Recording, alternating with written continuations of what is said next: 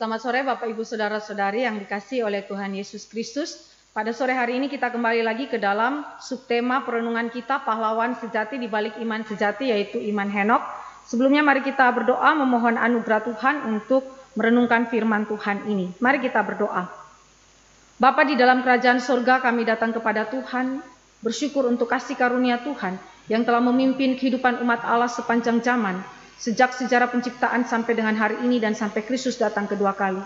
Kami bersyukur karena Engkau adalah Allah pencipta dan penyelamat jiwa kami, dan Engkau adalah Tuhan yang terus membimbing umat Allah di tengah-tengah keadaan yang kacau sekalipun untuk tetap memelihara iman mereka dan memungkinkan mereka setia sampai akhir. Kami berdoa biarlah roh Kristus menyertai kami dalam perenungan ini dan biarlah roh Kristus yang memberikan kepada kami hikmat untuk memahaminya dan juga iman yang sejati untuk menerima firman ini dan melakukannya dalam kehidupan kami sehari-hari. Terima kasih Tuhan, di dalam nama Yesus Kristus Tuhan, kami berdoa dan menyerahkan waktu perenungan firman ini ke dalam tangan pengasihan Tuhan. Amin. Mari kita membaca bagian-bagian firman Tuhan yang berbicara mengenai Henok. Kita lihat di dalam kejadian pasal 5, Kejadian pasal 5 saya mau membacakan bagi kita dari ayat 1 sampai dengan ayat yang keempat, kemudian dari ayat yang ke-21 dan sampai dengan ayat yang ke-24. Mari kita baca pasal 5 ayat 1 sampai dengan ayat yang keempat. Inilah daftar keturunan Adam pada waktu manusia itu diciptakan oleh Allah, dibuatnyalah dia menurut rupa Allah. Laki-laki dan perempuan diciptakannya mereka, ia memberkati mereka dan memberikan nama manusia kepada mereka pada waktu mereka diciptakan. Setelah Adam hidup 130 tahun, ia memperanakan seorang laki-laki menurut rupa dan gambarnya, lalu memberi nama Set kepadanya. Umur Adam setelah memperanakan Set 800 tahun, dan ia memperanakan anak-anak lelaki dan perempuan. Lalu kita lanjut ke dalam ayat 21 sampai ayat yang ke-24. Saya baca sebelumnya dari ayat 18 sampai dengan ayat yang ke-24 saja supaya kita lebih mengerti. Setelah Yaret hidup 162 tahun, ia memperanakan Henok dan Yaret masih hidup 800 tahun setelah ia memperanakan Henok dan ia memperanakan anak-anak lelaki dan perempuan. Jadi Yaret mencapai umur 962 tahun lalu ia mati. Setelah Henok hidup 65 tahun, ia memperanakan Metusala dan Henok hidup bergaul dengan Allah selama 300 tahun lagi.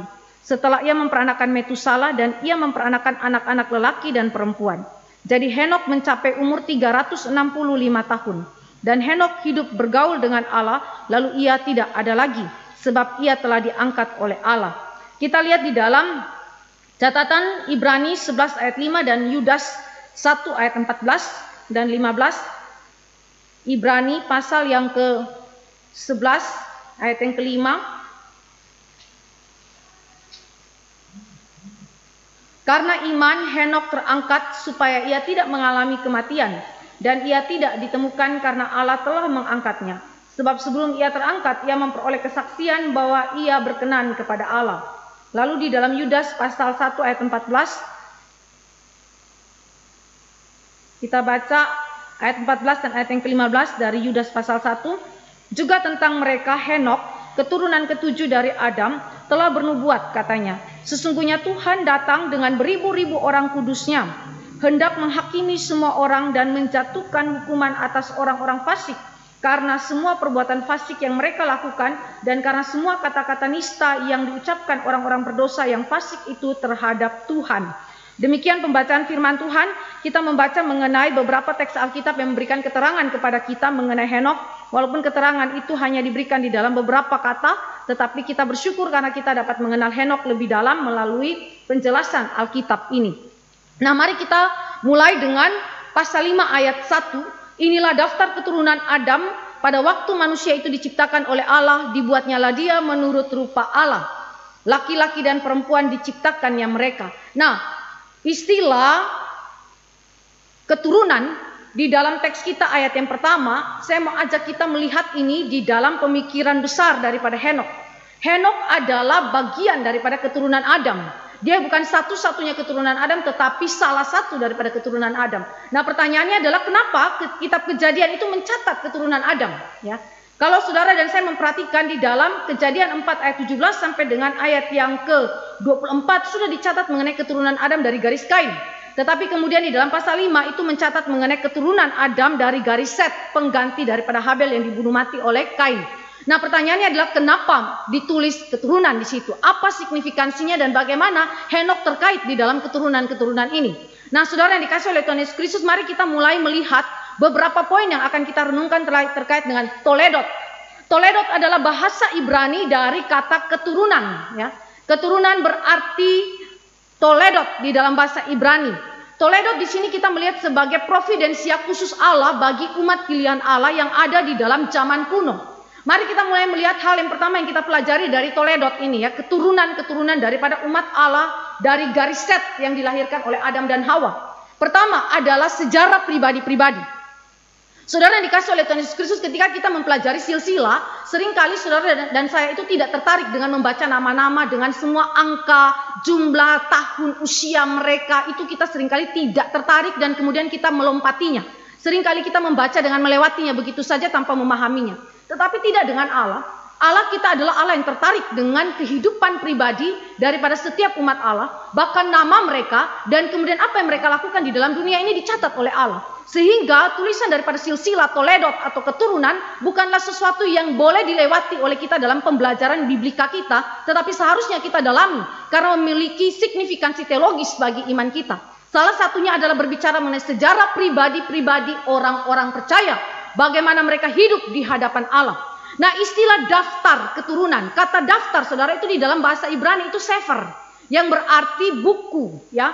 Kalau di dalam pemikiran daripada James Boyce Istilah daftar atau sefer buku di sini adalah sesuatu yang merupakan ungkapan daripada Musa sebagai wujud pengakuan Musa bahwa pada zaman itu ketika Musa diinspirasikan oleh Roh Kudus untuk menulis kitab Kejadian telah ada sumber tertulis. Telah ada sumber tertulis yakni sebuah buku yang kita sebut sebagai daftar atau sefer tadi ya. Entahkah isinya itu panjang atau pendek yang jelas sudah ada sebuah tulisan sumber-sumber yang tertulis mengenai silsilah yang kita terima yang dipakai oleh Musa di dalam narasi dia menjelaskan kitab kejadian ini. Jadi saudara dan saya melihat bahwa inspirasi roh kudus kepada Musa menggunakan sumber-sumber lisan maupun menggunakan sumber-sumber tertulis. Salah satu sumber tertulis yang kita dapatkan adalah daftar keturunan Adam. Dan bagi James Boyce, ketika kita itu kemudian membaca daftar ini, apa yang ditulis oleh Musa berarti ini adalah sumber tertulis tertua di seluruh dunia yang berbicara mengenai silsilah Adam dan Hawa, terutama dari garis set. Nah, saudara yang dikasih oleh Tuhan Yesus Kristus, mengapakah kejadian 5 ayat 1 sampai 32 mencatat daftar daripada keturunan Adam dari garis set? Saudara yang dikasih oleh Tuhan Yesus Kristus, bagaimana saya katakan tadi, bahwa ini adalah catatan daftar nama-nama dan perbuatan-perbuatan tertentu dari keturunan Adam yang setia kepada Allah dan firman-Nya.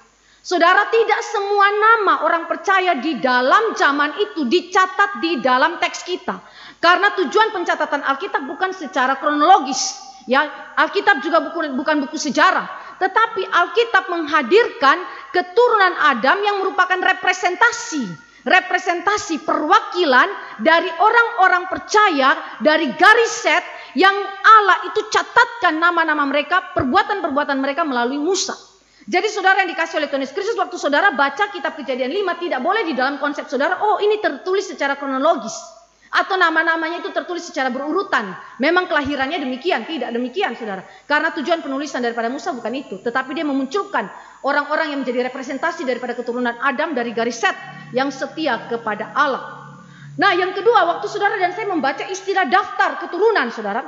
Kejadian 5 ayat 1 sampai 32 ini memberikan satu pengertian kepada saudara bahwa Allah itu memiliki perhatian yang khusus sebagaimana saya katakan tadi kepada orang-orang yang setia kepadanya dan dia juga berkehendak untuk mencatat nama-nama dan perbuatan-perbuatan mereka yang setia kepadanya di dalam dunia ini maupun di sorga yang kekal. Saya ulangi, Allah kita adalah Allah yang tertarik kepada pribadi-pribadi umat Allah.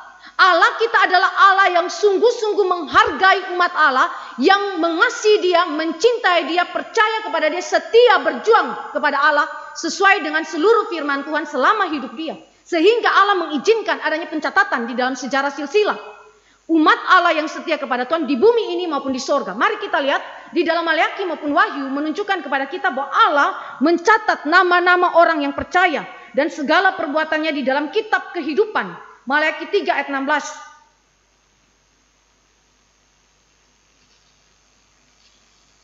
Di dalam Maliaki 3 ayat 16 dikatakan demikian. Beginilah berbicara satu sama lain orang-orang yang takut akan Tuhan. Tuhan memperhatikan dan mendengarnya. Sebuah kitab peringatan ditulis di hadapannya bagi orang-orang yang takut akan Tuhan dan bagi orang-orang yang menghormati namanya. Saudara yang dikasih oleh Tuhan Yesus Kristus, saya mau menekankan mengenai inspirasi Roh Kudus di dalam aspek silsilah. Saudara tidak boleh menganggap remehnya karena Allah tidak sedang menganggap remehnya. Allah menghadirkan itu kepada saudara supaya saudara mengerti bahwa Dia melihat saudara, Dia memperhatikan saudara, Dia menilai segala apa yang saudara pikirkan, saudara rasakan, saudara lakukan di dalam iman saudara sepanjang hari-hari hidup saudara di dalam dunia ini. Sehingga pada waktunya nanti ketika saudara berhadapan dengan Allah, saudara sungguh-sungguh mengalami apa yang disebut dengan ucapan syukur kepada Allah karena kemuliaan Allah yang dinyatakan melalui hidup saudara sepanjang di dalam dunia ini. Allah mencatatnya. Orang-orang yang percaya kepadanya dicatat namanya. Lalu di dalam Wahyu pasal 20, kitab terakhir, kitab terakhir di dalam perjanjian lama dan kitab terakhir di dalam perjanjian baru mencatat mengenai kitab kehidupan Wahyu 20 ayat yang ke-11 sampai dengan ayat yang ke-15. Lalu aku melihat suatu tahta putih yang besar dan dia yang duduk di atasnya. Dari hadapannya lenyaplah bumi dan langit dan tidak ditemukan lagi tempatnya. Dan aku melihat orang-orang yang mati, besar dan kecil berdiri di depan tahta itu. Lalu dibuka semua kitab dan dibuka juga sebuah kitab lain yaitu kitab kehidupan. Dan orang-orang mati dihakimi menurut perbuatan mereka berdasarkan apa yang ada tertulis di dalam kitab-kitab itu, maka laut menyerahkan orang-orang mati yang ada di dalamnya dan maut dan kerajaan maut menyerahkan orang-orang mati yang ada di dalamnya dan mereka dihakimi masing-masing menurut perbuatannya. Saudara dan saya perhatikan langsung di dalam ayat yang ke-15 dan setiap orang yang tidak ditemukan namanya tertulis dalam kitab kehidupan itu ia dilemparkan ke dalam lautan api itu. Dengan demikian saudara dan saya melihat bahwa kitab terakhir perjanjian lama, kitab terakhir perjanjian baru mengonfirmasikan apa yang diungkapkan di dalam kejadian lima. Bahwa Allah kita adalah Allah yang memperhatikan secara khusus kehidupan umat Allah. Bahkan nama dan perbuatannya dicatat di sorga. Bukan saja dicatat di bumi ini melalui Alkitab yang kita baca, tetapi dicatat di sorga yang kekal. Ketiga, kejadian 5 ayat 1 sampai ayat yang ke-32 berbicara mengenai karakteristik relasi Allah dan umatnya. Saudara memperhatikan kenapa silsilah itu ditulis, kenapa Toledot itu ditulis di dalam daftar itu dan diinspirasikan oleh Roh Kudus saudara kepada Musa karena berbicara mengenai karakteristik relasi Allah dan umatnya. Allah berelasi dengan umatnya dari pribadi kepada pribadi. Bukan dari sesuatu yang abstrak, yang non persona, yang tidak berpribadi tetapi sesuatu yang adalah pribadi. Allah kita adalah pribadi yang berelasi kepada pribadi. Itu sebabnya di dalam permulaan daripada ayat 1 dan ayat yang kedua berbicara bahwa manusia itu dicipta menurut gambar rupa Allah. Laki-laki dan perempuan menekankan mengenai apa? Pribadi. Manusia itu pribadi. Dan kemudian diciptakan menurut gambar rupa siapa? Gambar rupa Allah yang adalah pribadi. Pribadi. Allah kita adalah Allah yang pencipta. Dia berbeda daripada ilah asing, dewa asing yang tidak berpribadi. Dia berpribadi, dia berbicara. Dia berelasi secara pribadi dengan umatnya. Bahkan sejak manusia itu sebelum jatuh dalam dosa. Bahkan setelah dia jatuh dalam dosa. Allah datang memanggil dia secara personal. Secara personal. Jadi Allah begitu mencintai hubungan personal itu saudara. Dia yang melembagakan itu sejak manusia itu diciptakan. Menurut gambar rupa dia.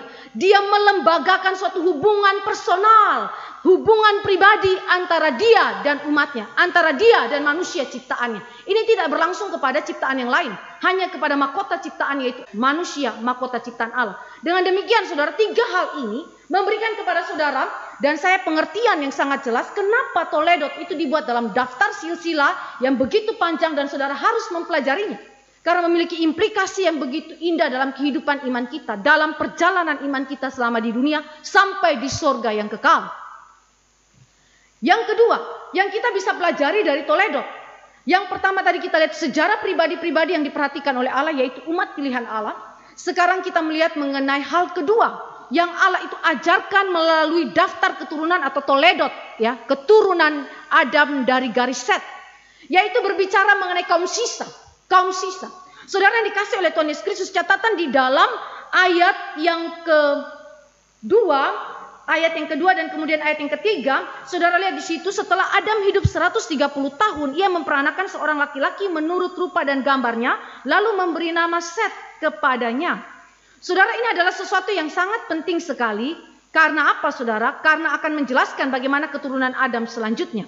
Nah, saya mau tekankan istilah Toledo dalam ayat 1 tadi, sekali lagi mengacu kepada keturunan Adam yang diberkati Allah. Dari keturunan perempuan yang dijanjikan dalam kejadian 3 ayat 15. Jadi ini bukan keturunan yang tidak diberkati Tuhan, tetapi ini keturunan daripada perjanjian Allah. Kejadian 3 ayat 15. Langsung ada pembedaan. Nah, John Calvin itu waktu dia membaca seluruh teks ayat 1 sampai ayat yang ke-32 daripada uh, kitab Kejadian 5, Saudara, Calvin bilang begini. Sekalipun terjadi pelipat gandaan manusia yang besar pada zaman kuno, itu hanyalah dalam kuantitas atau jumlah penduduknya, tetapi hanya sedikit yang menyembah Allah. Garis bawahi kalimat ini. Banyak jumlah jiwa, ya, banyak pelipat gandaan penduduk. Tadi di dalam ayat yang ketiga saya bacakan bagi saudara, Adam dan Hawa melahirkan begitu banyak anak laki-laki dan anak-anak perempuan. Tetapi saudara, hanya sedikit yang menyembah Allah. Ini yang saya maksudkan dengan kaum sisa. Ketika saudara membaca kitab kejadian 5 ayat 1 sampai ayat yang ke-32, saudara harus ingat di dalam pikiran saudara, di antara semua keturunan Adam, ada kaum sisa yang kemudian dicatatkan di dalam daftar silsilah ini untuk menjadi representasi daripada umat pilihan Allah yang hadir di dalam zaman itu. Walaupun demikian, kata John Calvin, jumlah manusia yang besar ini tetap menyatakan pemeliharaan Allah yang ajaib. Kenapa? Karena di dalam kutuk Allah bagi manusia seharusnya keterpisahan daripada Allah karena dosa itu adalah mengakibatkan kematian. Allah bisa saja mematikan Adam dan Hawa saat itu juga ketika mereka itu memberontak kepada Allah. Tetapi anehnya Allah tidak langsung mematikan mereka secara fisik. Tetapi Allah mengizinkan Adam dan Hawa untuk melipat kali gandakan gambar rupa mereka di dalam keturunan mereka laki-laki dan perempuan. Dengan demikian saudara dan saya melihat pemeliharaan Allah memungkinkan apa yang dikehendaki Allah di dalam kejadian 1 ayat 26 sampai ayat yang ke-28. Penuhilah bumi, taklukkanlah bumi. Penuhilah bumi, beranak cuculah. Saudara di dalam konteks dosa, seharusnya Adam dan Hawa tidak dapat memenuhi apa yang dikehendaki oleh Allah. Seharusnya. Karena hukuman mereka adalah kematian. Tetapi saudara, di dalam pemeliharaan Allah, di dalam penopangan Allah yang bersifat umum sekaligus khusus ini, memungkinkan manusia itu dilipat kali gandakan, memenuhi bumi ini walaupun masih di dalam wilayah yang terbatas. Tetapi yang jelas memungkinkan kehendak Allah di dalam kejadian 1 ayat 26 sampai 28. Beranak cuculah, penuhilah bumi, taklukkanlah bumi, semuanya dapat terlaksana. Dengan demikian John Calvin melihat bahwa keturunan yang dicatat di dalam 5 eh, pasal 5 ayat 1 sampai ayat yang ke-32 tetap menunjukkan pemeliharaan Allah dalam kehidupan kita. Saudara yang dikasih oleh Tuhan Yesus Kristus, implikasi teologisnya apa? Dosa itu tidak akan menghambat kehendak Allah itu terjadi dan tergenapi. Dosa sebesar apa pun dan akibat dosa sebesar apa pun tidak akan bisa menghambat kehendak Allah yang sudah ditetapkan sejak kekekalan. Dia yang berkuasa, dia yang memegang kendali dan memungkinkan seluruh kehendak Allah itu terlaksana dalam hidup manusia berdosa seperti Adam dan Hawa. Martin Luther. Luther melihat kejadian 5 ayat 1 sampai ayat yang ke-32 demikian. Kemuliaan terbesar dari zaman kuno ini adalah terdapat banyak orang percaya yang berhikmat dan yang kudus di zaman yang sama. Perhatikan, di zaman yang sama. Banyak sekali orang percaya, orang berhikmat dan orang kudus di sana ini bukanlah catatan nama orang-orang biasa, tetapi dari keturunan inilah akan lahir Yohanes Pembaptis dan Kristus yang akan datang. Saudara yang dikasih oleh Tuhan Yesus Kristus, saya kutip kalimat daripada pendeta Stephen Tom. Dalam satu zaman, jika Allah membangkitkan orang-orang percaya atau para nabi, itu tanda bahwa Allah memperkenankan orang-orang pada zaman itu. Allah ingin memanggil orang-orang yang berdosa pada zaman itu kembali kepada dia. Sehingga kehadiran orang percaya di dalam setiap zaman adalah begitu signifikan. Begitu signifikan saudara. Sehingga bagi Martin Luther ketika dia memandang kepada zaman kuno, kepada zaman Adam di mana Kristus belum lahir di sana. Kristus belum berinkarnasi di sana, tapi tetap terlihat kemuliaan Kristus melalui apa? Melalui kehadiran kaum sisa, orang-orang percaya dari garis set yang dicatat di dalam Toledo, ya, keturunan daripada Adam. Yang kedua, Luther melihat begini. Perbuatan-perbuatan orang percaya pada zaman kuno yang dicatat di dalam kejadian ini 5 ayat 1 sampai 32 adalah menyaksikan pengharapan iman mereka kepada keturunan perempuan yang akan meremukan kepala ular. Kejadian 3 ayat 15. Walaupun mereka ada di tengah penderitaan yang dialami karena kebencian, kita sudah pernah lihat kemarin, minggu yang kemarin mengenai kebencian daripada Kain, iri hati, penghinaan dari keturunan ular, tetapi mereka tetap setia di dalam iman yang dijamin oleh pengharapan Injil kejadian 3 ayat 15. Nah saudara yang dikasih oleh Tuhan Yesus Kristus ini adalah satu pandangan yang sangat indah. Bagaimana karya providensia Allah memelihara iman umat Allah di dalam pengharapan Injil. Kejadian 3 ayat 15. Kalau saudara baca di dalam kejadian 4 ayat yang ke 25. Keterangan ya. Keterangan dari Hawa. Setelah Habel itu dibunuh mati dan Adam itu bersetubuh dengan dia, lalu perempuan itu melahirkan seorang anak laki-laki dan menamainya Set. Sebab katanya, kalau Habel waktu dilahirkan, Hawa tidak memberikan komentar apa pun. Tetapi waktu Set dilahirkan sebagai pengganti daripada Habel, Hawa berkomentar. Allah telah mengaruniakan kepadaku anak yang lain sebagai ganti Habel, sebab Kain telah membunuhnya. Sebab Kain telah membunuhnya. Ekspektasi daripada keluarga Adam dan Hawa bahwa anak sulungnya itu yang akan menggenapkan kejadian 3 ayat 15 sebagai penyelamat. Faktanya adalah sebagai pembunuh. Sekarang telah digantikan oleh Set. Yang di mana Tuhan pilih Habel tetapi Habel dibunuh mati secara tidak adil dan kemudian digantikan dengan Set. Lalu apa yang dikatakan di situ? Allah itu telah menggantikan Habel yang dibunuh oleh Kain. Dengan demikian, di balik itu ada satu pengharapan yang begitu indah di dalam hidup daripada Adam dan Hawa bahwa perjanjian Allah dalam kejadian 3 ayat 15 tidak akan tidak akan tidak digenapi. Artinya pasti digenapi, saudara. Saudara yang dikasih oleh Tuhan Yesus Kristus, sekali lagi saya mau ajak kita melihat secara luas kejadian 5. Di dalam kerangka berpikir John Calvin maupun di dalam kerangka berpikir Martin Luther. Betapa Allah memperhatikan kehidupan daripada setiap zaman. Dari generasi kepada generasi dengan menghadirkan orang-orang percaya melalui hidup dan perbuatan mereka yang dilandaskan kepada iman yang sejati. Mereka bersaksi akan Allah dan mereka justru menyatakan pengharapan Injil. Pengharapan Injil kepada dunia yang tidak berpengharapan yang telah jatuh di dalam dosa. Dengan demikian saudara, kehadiran kaum sisa dengan seluruh silsilah daftar keturunan yang ada adalah sesuatu yang bermakna eh, sangat signifikan secara teologis ya. Jadi kita waktu mempelajarinya tidak boleh hanya melewatinya begitu saja. Nah, saudara kaum sisa ini yang dikatakan di dalam pasal 5 ayat 1 sampai ayat yang ke-32 adalah kaum sisa yang hidup di zaman yang rusak. Hidup di zaman yang rusak. Tentu setelah manusia jatuh dalam dosa kita tahu bahwa segala sesuatu akan mengalami kerusakan. Ya. Sejak dia jatuh dalam dosa sudah terjadi kerusakan. Dan kerusakan itu akan semakin berkembang biak. Apalagi dengan adanya pemberontakan daripada Kain. Dan pembunuhan pertama yang dilakukan oleh Kain. Dengan demikian saudara dan saya melihat bahwa dari generasi kepada generasi yang dari keturunan Adam. Khususnya dari garis set kita menemukan bahwa kejadian 6 ayat 5 dan 11-12 menunjukkan bahwa mereka hidup di dalam zaman yang rusak ya. Di dalam zaman yang rusak. Saya bacakan bagi kita ayat yang kelima dari kitab kejadian pasal 6 ketika dilihat Tuhan bahwa kejahatan manusia besar di bumi dan bahwa segala kecenderungan hatinya selalu membuahkan kejahatan semata-mata maka menyesallah Tuhan bahwa ia telah menjadikan manusia di bumi dan hal itu memilukan hatinya. Lalu ayat 11 sampai ayat yang ke-12 Adapun bumi itu telah rusak di hadapan Allah dan penuh dengan kekerasan. Allah menilik bumi itu dan sungguhlah rusak benar. Sebab semua manusia menjalankan hidup yang rusak di bumi. Jadi saudara memperhatikan di dalam kehidupan daripada Henok. Henok bukan hidup di zaman yang cukup kondusif untuk imannya bertumbuh. Tetapi Henok bersama-sama dengan semua keturunan Adam dari garis set. Mereka hidup di dalam zaman yang rusak. Dan semakin rusak, semakin rusak sampai mencapai titik kulminasinya ketika air bah itu diturunkan oleh Allah. Jadi dengan demikian saudara, kaum sisa tetap ada di dalam zaman yang bahkan paling rusak sekalipun. Saya ulangi, kaum sisa pasti ada bahkan di dalam zaman yang paling rusak sekalipun. Contoh Sodom dan Gomora. Sodom dan Gomora adalah kasus yang paling-paling buruk di dalam kejadian yang dicatat. Ketika Abraham itu berdoa kepada Tuhan, dia minta agar Allah menyelamatkan orang benar. Lalu dia listkan jumlah orang benar di dalam Sodom. Sampai terakhir cuma 10. Faktanya bukan 10, hanya satu orang benar yaitu Lot.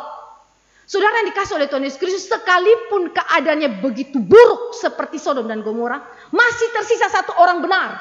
Masih tersisa satu orang benar. Karena itu saya mau katakan bahwa kaum sisa di dalam zaman yang paling rusak sekalipun pasti selalu ada karena apa? Karena Allah pelihara umat Allah. Dalam setiap zaman, di dalam kegelapan dosa, di dalam bumi yang sudah rusak dan semakin rusak, penuh dengan kekerasan, manusia menjalankan hidup yang rusak di bumi secara potensial maupun aktual di dalam dosa semata-mata, tetap ada kaum sisa, tetap ada kaum sisa. Ini memberikan penghiburan kepada saudara. Saudara jangan bersikap seperti Elia. Elia itu orang yang self pity-nya uh, luar biasa saudara. Walaupun dia adalah hamba Tuhan yang dipakai Tuhan begitu besar. Lalu setelah dia itu menghancurkan 450 nabi Baal membunuh mati mereka dan memproklamasikan tentang kemuliaan Tuhan apa yang dia lakukan?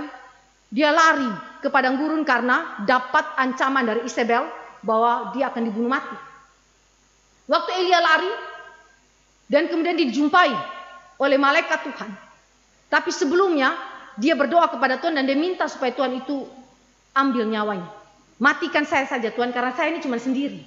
Cuma sendiri saja yang berjuang untuk mempertahankan iman di dalam wilayah Israel ini. Lalu Tuhan suruh dia makan makanan yang dibawa oleh malaikat Tuhan. Lalu suruh dia kembali ke dalam Israel. Tidak membunuh mati Elia tetapi suruh dia kembali ke dalam tugasnya, pelayanannya di Israel. Lalu Tuhan bilang apa? Aku masih menyisakan Sekian banyak orang, lebih daripada 100 orang yang tidak sujud menyembah kepada Baal. Ya. Begitu banyaknya orang yang tidak sujud menyembah kepada Baal, sedangkan Elia melihat dirinya cuma sendiri. Di dalam wilayah Israel, di dalam kebengkokan hati dari umat Allah, saya sendiri Tuhan, saya sendiri. Tapi waktu saudara dan saya membaca di dalam kalimat daripada Allah, ternyata Allah tidak membiarkan Elia sendiri. Masih ada umat Allah yang lain. Umat Allah yang lain bersama-sama dengan Elia yang tidak sujud kepada Baal. Demikian juga saudara waktu saudara melihat ke dalam konteks kitab kejadian, Henok tidak sendiri. Henok tidak sendiri memperjuangkan iman dia. Di dalam zaman itu sekalipun bumi ini rusak, manusia itu juga rusak secara potensial maupun secara aktual di dalam dosa, dia hidup hanya di dalam dosa. Saudara perhatikan, manusia tetap saja memiliki apa yang disebut dengan pemeliharaan Allah yang khusus yang memungkinkan adanya kaum sisa yang minoritas. Yang minoritas jumlahnya sangat sedikit, tidak banyak. Jumlahnya sangat sedikit. Saudara perhatikan dari uh, usia setiap toko yang dicatat di situ berarti kita menemukan bahwa dalam tahun-tahun bersangkutan itu jumlah orang percaya itu sangat sedikit, sangat minoritas ya. Tetapi sekali lagi ini menyatakan pemeliharaan Allah yang khusus bagi umat Allah dan jumlah orang percaya minoritas itu adalah alat yang Allah pakai untuk memperkuat dan membangun komunitas umatnya di dalam iman dan firman-Nya.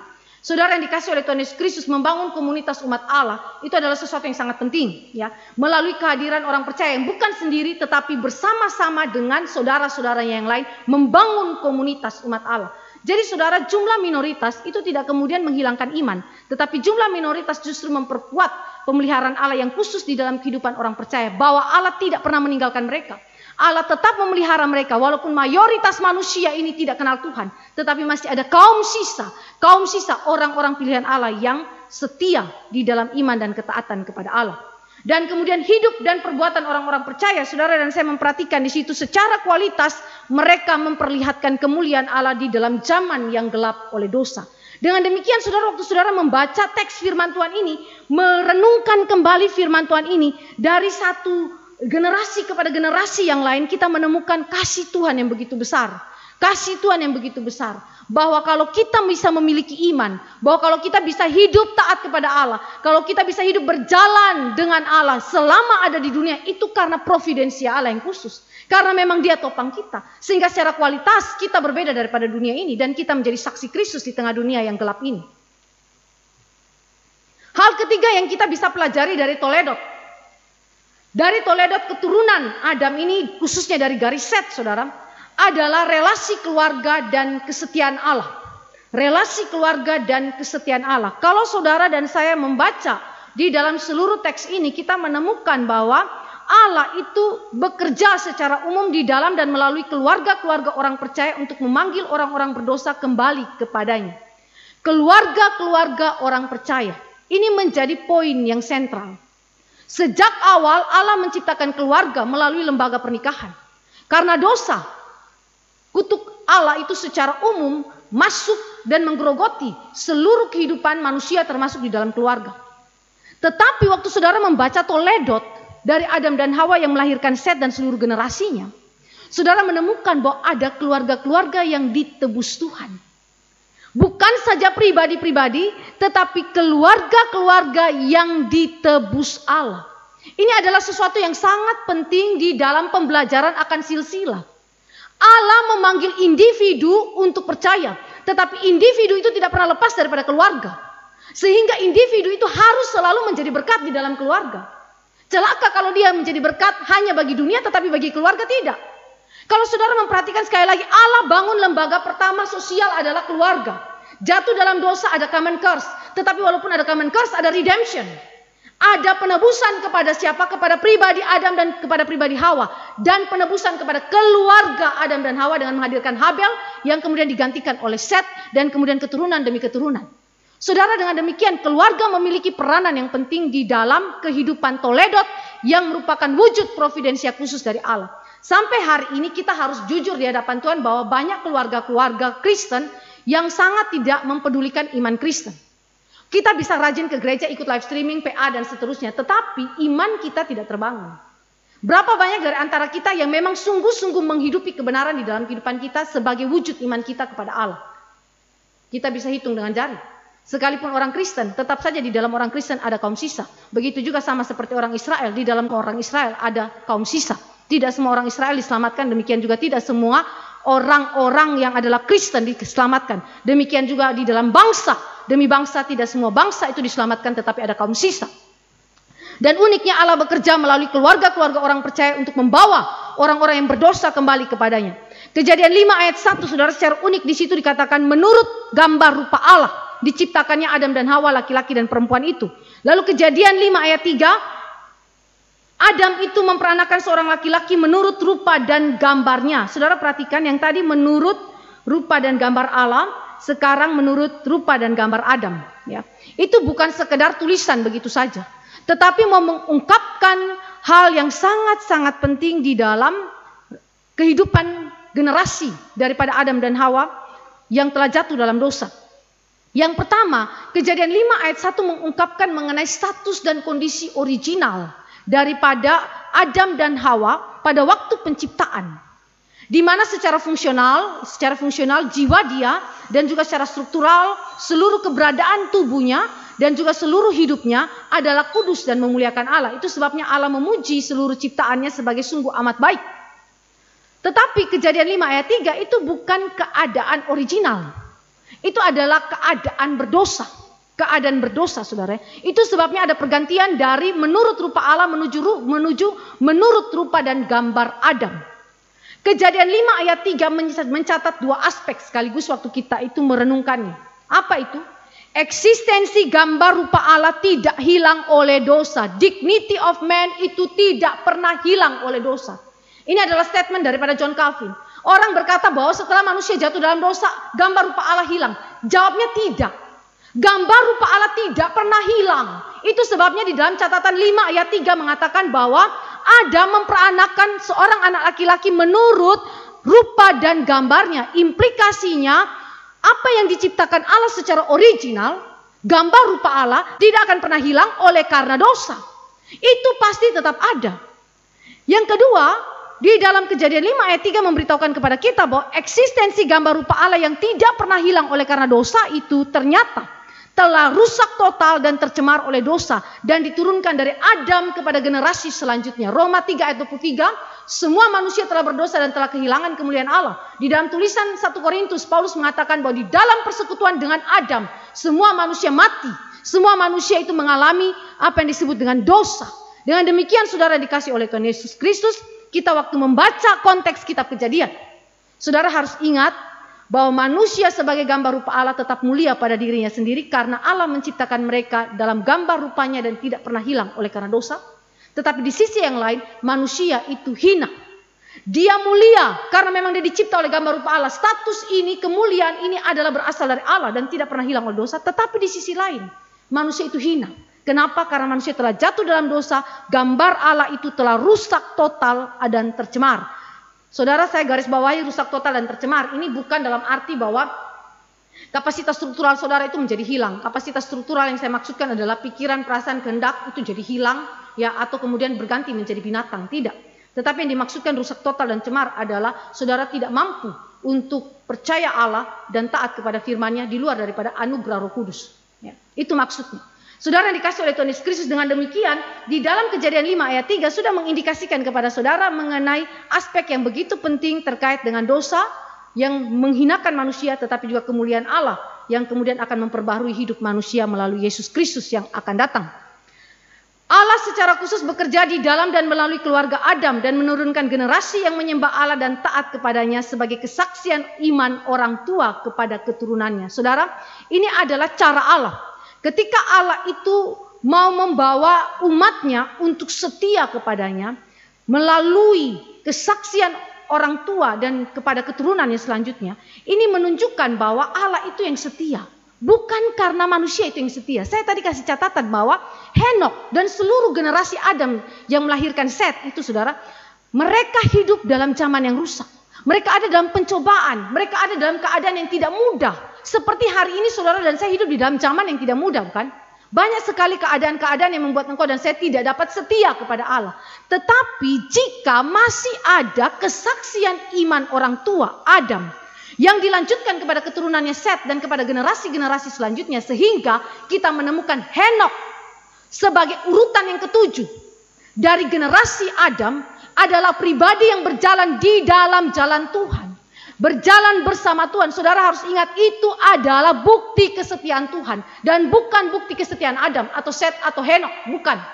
Karena mereka ada di dalam keadaan berdosa, mereka ada di dalam dunia yang berdosa, mereka berada di dalam kutuk Allah. Tetapi siapakah yang memungkinkan adanya kesaksian iman dari orang tua kepada generasi selanjutnya dan memungkinkan Henok untuk memiliki iman? Karena Allah. Karena Allah. Di sini saudara dan saya melihat bagaimana Allah memakai keluarga dan di satu pihak dia kemudian menghadirkan orang-orang tua yang mencintai Tuhan dan kemudian melalui iman mereka memenangkan anak-anak mereka selanjutnya. Ini memberikan garis bawah kepada kita ya, untuk uh, memikirkan keluarga kita di dalam aspek orang tua sebagai contoh iman. Ya, contoh iman yang bukan saja bilang percaya Yesus, tetapi juga hidup kita, perkataan, perbuatan kita itu sinkron dengan apa yang kita ajarkan, apa yang kita imani. Tentu ini ada perjuangan, perjuangan seumur hidup. Dan di titik ini saudara dan saya menemukan bahwa kita banyak jatuh, banyak jatuh. Adam dan Hawa juga membuktikan bahwa mereka juga sebagai orang tua yang tidak perfect, tidak sempurna. Tapi jika ada anak-anak cucu-cucu mereka yang percaya kepada Tuhan, bahkan iman mereka di tengah-tengah keterbatasan, kekurangan dan keberdosaan mereka masih bisa disaksikan, masih bisa dilihat dan ditiru oleh generasi selanjutnya. Itu semua membuktikan kesetiaan Allah bagi kita. Dengan demikian saudara dan saya melihat bagaimana relasi keluarga dan kesetiaan Allah di dalam Toledot begitu kuat. James Boyce itu mengatakan bahwa Seth dan keturunannya adalah pribadi-pribadi yang terikat di dalam jalinan relasi keluarga, yakni keluarga-keluarga yang percaya kepada Allah, yang berjuang menaati firman-Nya dan mengajarkannya serta mewariskan iman dan ketaatan itu kepada keturunan selanjutnya. Dengan demikian, iman yang dimiliki oleh Henok tidak terlepas daripada iman orang tua. Tidak terlepas dari iman orang tua ini bukan berarti otomatis saya percaya maka anak saya selamat. Tidak. Tetapi saudara mengajarkan firman, memberitakan firman, mewariskan iman dan contoh ketaatan iman kepada setiap anak-anak kita. Itu adalah tanggung jawab utama yang menyebabkan Henok. Henok itu kemudian bisa hidup di dalam iman yang sejati. Tentu kita tahu bahwa ada karya providensia khusus bagi Henok yang Allah berikan di dalam karya Roh Kudus, tetapi tetap tidak bisa dilepaskan juga dari Injil yang diberitakan. Sebab kita ingat kepada Roma 10 ayat 17 yang mengatakan bahwa iman timbul dari pendengaran akan firman Kristus yaitu Injil Kristus. Dari manakah Henok dengar tentang Injil? Dari manakah keturunan daripada Henok Metusala dan juga keturunan sebelumnya daripada Henok mendengarkan Injil? Ya dari orang tuanya, dari orang tuanya. Iman timbul daripada pendengaran akan firman Kristus. Dari mana mereka mendengarkan firman? Dari mulut orang tua pertama kali. Di dalam Kejadian 4 ayat 26 saudara dan saya menemukan di situ juga mengenai keunikan daripada keluarga Adam dan Hawa, saudara. Keluarga Adam dan Hawa, di mana Tuhan memakai mereka untuk setia kepada Tuhan di tengah-tengah zaman yang sudah rusak. Di dalam ayat yang ke-26, lahirlah seorang anak laki-laki bagi Set juga dan anak itu dinamainya Enos. Waktu itulah orang mulai memanggil nama Tuhan. Waktu itulah orang mulai memanggil nama Tuhan. Saudara, sebelum Set lahir, sudah ada ibadah-ibadah personal dan persembahan korban kepada Allah di dalam keluarga Adam dan Hawa. Saudara bisa baca itu dalam kejadian 4 ayat 3 dan 4. Sudah ada itu. Tetapi kenapa dikatakan waktu itulah orang mulai memanggil nama Tuhan? Setelah Set lahir, ibadah yang berlangsung secara personal di dalam keluarga Adam diatur menjadi ibadah bersama, ibadah komunal yang tidak hanya per pribadi atau per keluarga saja. Jadi sejak zaman daripada Set lahir, maka saat itu terjadilah penyembahan kepada Allah secara publik. Secara publik. Dan dasar penyembahan yang mereka lakukan adalah kejadian 3 ayat 15. Ya, proto evangelium dan mereka juga melakukan upacara korban binatang dan juga ada korban sajian yang dilakukan secara publik. Ya korban binatang itu berdasarkan kejadian 3 ayat 21 dan korban sajian itu berkembang berdasarkan pekerjaan yang mereka itu miliki. Tetapi mereka sudah memulainya. Jadi saudara yang dikasih oleh Tuhan Yesus Kristus tiga hal ini dilakukan secara publik. Dan uniknya Allah memakai keluarga daripada Adam untuk menyatakan itu kepada dunia. Kain tidak ada catatan mengenai hal ini. Keluarga Kain tidak ada pernah catatan bahwa mereka beribadah kepada Allah, bahwa mereka orang yang pintar. Iya, bahwa mereka adalah orang-orang yang pandai sebagai tukang besi, sebagai uh, ahli dalam musik ya. Banyak sekali mereka punya keahlian, bahkan di dalam pembangunan kota. Mereka pintar, iya. Tetapi sayangnya kepintaran mereka tidak didasarkan kepada iman mereka. Ini sesuatu yang menjadi kontras antara keturunan Kain, keturunan ular dan keturunan Adam dari Set yang merupakan keturunan perempuan yang dijanjikan oleh Allah. Mereka adalah orang-orang beriman. Mereka beriman bukan saja secara privat, tetapi mereka menyatakan itu secara publik di dalam dunia yang rusak. Di dalam dunia yang rusak. Ini konteksnya, saudara. Di dalam konteks ini saudara dapat mengerti dengan jelas iman Henok. Bagaimana perjuangan Henok sebagai pribadi tetapi juga sebagai keluarga yang meneruskan dan mewarisi iman daripada Adam yang mencintai Tuhan itu. Maka poin yang kedua, saudara dan saya melihat iman Henok. Bagaimanakah Henok berperan di dalam hal ini, saudara? Ada beberapa aspek yang kita bisa lihat dari kesaksian Alkitab Perjanjian Lama maupun Perjanjian Baru mengenai iman Henok. Apa yang dia lakukan di dalam keadaan konteks yang tadi saya ceritakan kepada saudara? Yang pertama di dalam Yudas 1 ayat 14 ya. Tadi kalau saudara ingat di dalam Yudas kita baca sekali lagi teks ini Yudas 1 ayat 14. Juga tentang mereka Henok keturunan ketujuh dari Adam telah bernubuat katanya sesungguhnya Tuhan datang dengan beribu-ribu orang kudusnya. Saudara perhatikan Henok keturunan ketujuh dari Adam. Hal pertama yang saya mau ajak kita renungkan mengenai iman Henok adalah penyebutan di dalam Yudas 1 ayat 14a kepada Henok sebagai keturunan ketujuh dari Adam. Pertanyaannya, apakah itu berarti Henok benar-benar keturunan ketujuh? Waktu saudara baca teks ini, saudara hitung ya. Generasi pertama Adam sampai dengan Henok itu pas tujuh ya. Tapi apakah itu berarti bahwa benar-benar Henok itu secara literal berarti keturunan ketujuh? Bukan. Tadi saya katakan bahwa catatan-catatan ini bersifat representatif saja. Ada generasi yang tidak dicatat. Jadi itu berarti lebih tepatnya Henok menempati urutan ketujuh bukan sebagai keturunan di dalam arti literal ya generasi ketujuh persis tidak saudara. Tetapi menempati urutan ketujuh dalam daftar keturunan Adam di dalam kejadian 5 ayat 1 sampai ayat yang ke-32 begitu. Nah apa tujuannya Henok itu disebutkan sebagai keturunan ketujuh? Ya, apa hubungannya dia itu disebutkan sebagai keturunan ketujuh? Tujuannya apa di sini ya? Ada beberapa hal yang kita bisa catat mengenai tujuan penyebutan Henok sebagai keturunan ketujuh. Pertama untuk membedakan Henok yang keturunan ketujuh ini dari Henok keturunan Adam dari garis Kain yang merupakan keturunan ketiga ya. Jadi kalau saudara bahas Yudas pasal 1 ayat 14a, Henok yang mana yang dibicarakan? Ini bukan Henok dari keturunan Kain yang adalah dalam urutan ketiga ya dalam pencatatan. Tetapi kalau saudara dan saya lihat di dalam garis set Henok berada dalam urutan ketujuh dalam pencatatan daftar silsilah Adam dari garis set dengan demikian untuk membedakannya dari Henok keturunan Kain generasi ketiga yang merupakan keturunan ular.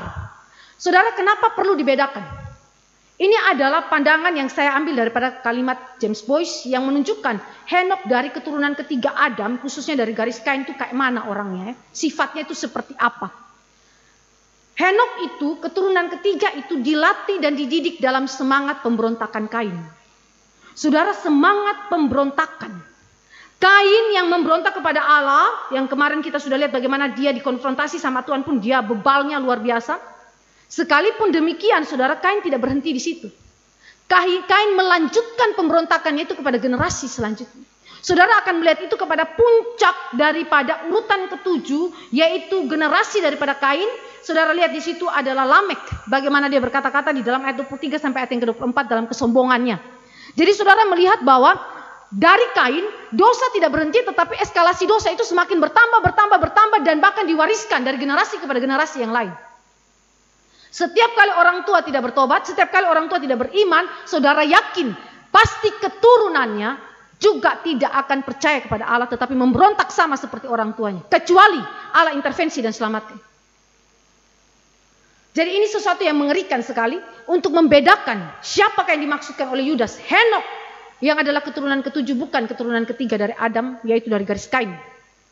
Nama Henok dari garis kain saudara itu diberikan kepada kota yang pertama yang dibangun oleh Kain yang sebenarnya kota itu terkenal dengan kejahatannya. Saudara tahu nama kota Henok itu sebenarnya mengacu ke mana saudara? Henok adalah anak pertama daripada Kain ya. Dennis Green itu bilang kejadian 4 ayat 16 dan ayat yang ke-17. Pembangunan sebuah kota oleh Kain di tempat yang bernama Henok dinamakan dengan anak pertamanya itu terletak di Tenggara Eden, ya, yaitu daerah yang nanti dinamakan Sinear atau Babel dalam Alkitab, yang nanti terjadi apa yang disebut dengan kekacauan menara Babel. Jadi saudara sebelum peristiwa itu terjadi, sebelum peristiwa itu terjadi ternyata sudah ada cikal bakalnya saudara. Cikal bakalnya di dalam kehidupan daripada Henok anak pertama daripada Kain. Yang merupakan gambaran pemberontakan daripada Kain. Termasuk Kota yang dibangunnya bukanlah kota yang memuliakan Tuhan, tetapi mengagungkan diri sendiri. Dan pada akhirnya mereka mencoba menyelamatkan diri dengan kekuatan sendiri dan Tuhan hancurkan itu ketika kita melihat di dalam peristiwa kejadian 11 ayat 1 sampai 9 mengenai menara Babel. Selain itu saudara keturunan Henok dari anak Kain ini saudara bukanlah orang yang percaya dan taat kepada Allah. Kita tahu itu dengan persis di dalam teks kita walaupun tidak dijelaskan dengan detail tetapi karena orang tuanya adalah orang tua yang tidak benar, maka anaknya pun demikian. Sebaliknya, Henok itu hidup di dalam dosa dan bermegah, ya, dan bermegah atas dosa. Saudara perhatikan, dia di dalam kejadian 4 ayat 23 sampai 24 terlihat di dalam keturunannya. Keturunannya Lamek itu adalah orang yang sangat-sangat menghinakan hidup yang diberikan Allah. Kita lihat bagaimana kata-kata di dalam ayat 23 sampai dengan ayat yang ke-24 keturunan daripada Kain.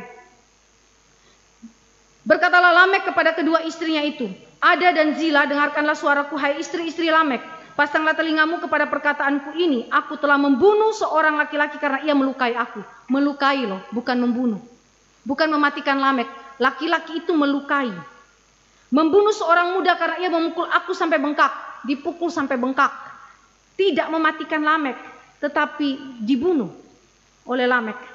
Sebab jika kain harus dibalaskan tujuh kali lipat, maka Lamek tujuh puluh tujuh kali lipat. Saudara, apa yang dikatakan oleh Lamek adalah gambaran tiga hal.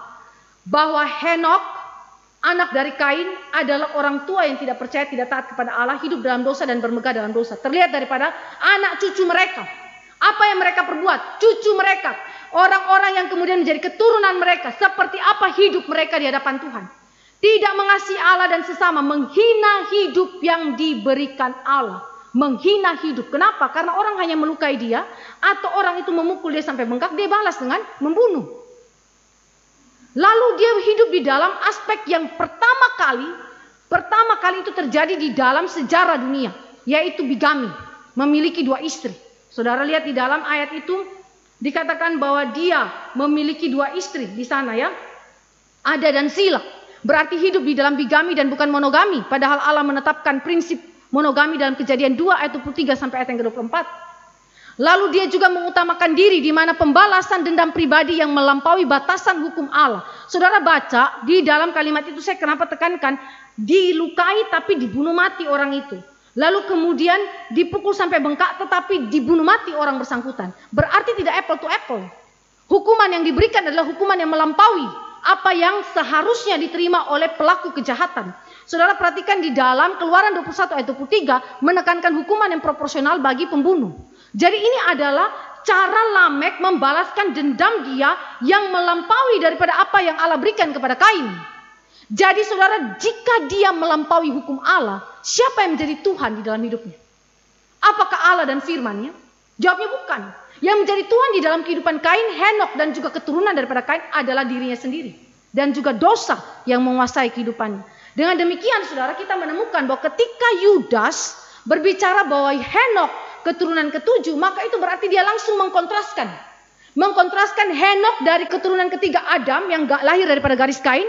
Dan kemudian menunjukkan karakteristik rohani daripada Henok keturunan ketujuh Adam dari garis Set. Henok dari keturunan ketujuh Adam, dia adalah seorang yang mengasihi Allah dan sesama bahkan di dalam ibadah secara privat maupun di dalam seluruh aspek kehidupannya. Kita bisa lihat itu dalam keterangan-keterangan teks yang sudah saya tulis. Jadi ini adalah ungkapan, ungkapan keturunan ketujuh yang menunjukkan karakteristik rohani daripada Henok. Langsung berseberangan dengan Henok daripada Kain. Dua nama yang sama, ya, dua pribadi yang berasal daripada kakek yang sama, Adam, ya, tetapi saudara menghasilkan iman yang berbeda. Iman yang palsu dan iman yang asli. Keturunan ular dan keturunan dari perjanjian Allah itu dikandung di dalam kandungan daripada Adam dan Hawa. Jadi ini sesuatu yang memberikan kepada saudara peringatan keras sekali kepada kita sebagai keluarga Kristen supaya kita memperhatikan kehidupan keluarga kita. Karena dari rahim kita kita bisa keluarkan dua anak di dalam kelompok kelompok yang berbeda, yang kontras di dalam iman. Satu orang percaya, satu bisa tidak orang percaya. Atau bisa orang percaya semuanya atau bukan orang percaya semuanya. Jadi ini sesuatu hal yang sangat mengerikan dan jadi peringatan kepada kita. Lalu ketiga, kenapa dia disebutkan oleh Yudas sebagai keturunan ketujuh? Untuk menyatakan kontinuitas daripada eksistensi dua macam kelompok manusia yang tadi saya katakan orang percaya dan orang tidak percaya dan sekaligus keberadaan kuasa jahat yang terus hadir di dalam dunia ini. Jadi saudara tidak pernah di dalam zaman setelah manusia jatuh dalam dosa yang tidak ada orang percaya dan juga orang tidak percaya. Pasti ada orang percaya dan orang tidak percaya. Ya, itu pasti. Entah dilahirkan daripada rahim orang yang percaya ataupun rahim orang yang tidak percaya. Jadi saudara yang dikasih oleh Tuhan Yesus Kristus ini adalah pandangan luas kita bagaimana Henok itu dihadirkan oleh Tuhan sebagai keturunan ketujuh yang berbeda sekali daripada Henok keturunan ketiga daripada Adam dan dia adalah seorang yang percaya kepada Tuhan, dia adalah seorang yang memberikan kepada kita kesaksian iman yang menyatakan bahwa Allah berkuasa atas dunia yang jahat ini. Kedua, kedua, Saudara lihat keunikan daripada iman Henok digambarkan di dalam Yudas 1 ayat 14b sampai ayat 15 sebagai nabi. Saya sebutkan nabi tanda petik karena memang tidak disebutkan secara huruf ya bahwa Henok itu adalah nabi, tetapi di dalam Yudas dikatakan bahwa dia bernubuat. Semua nabi perjanjian lama pasti bernubuat, saudara. Dan Henok adalah orang yang bernubuat. Dan dia adalah pemberita daripada kebenaran. Itu adalah kesaksian daripada Yudas 1 ayat 14b dan 15. Apa yang menjadi isi nubuatan daripada Henok dan menjadi kebenaran yang diberitakan kepada orang-orang pada zaman itu? Ada dua aspek yang kita bisa lihat di dalam Yudas 1 ayat 14b sampai ayat 15 mengenai pemberitaan Henok ya di dalam nubuatan dia. Pertama, Henok berbicara mengenai proklamasi akan kedatangan penghakiman Allah. Saudara ingat konteks besar yang tadi saya berikan, Henok hidup di dalam zaman yang rusak. Dia hidup tidak lama ini sebelum tidak lama sebelum terjadinya air bah. Ya. Dengan demikian proses daripada kerusakan dunia ini bersama dengan para penduduknya kecuali orang-orang percaya itu adalah suatu proses yang nanti akan mencapai titik kulminasi ya di dalam air bah nanti. Jadi itu berarti ketika dia memproklamasikan akan kedatangan penghakiman itu adalah sesuatu yang bersesuaian dengan keadaan zamannya pada waktu itu. Apa yang menjadi dasar bagi Henok bahwa dia memproklamasikan penghakiman Allah? Seluruh nubuatan, Petrus katakan, tidak pernah berasal daripada kehendak manusia.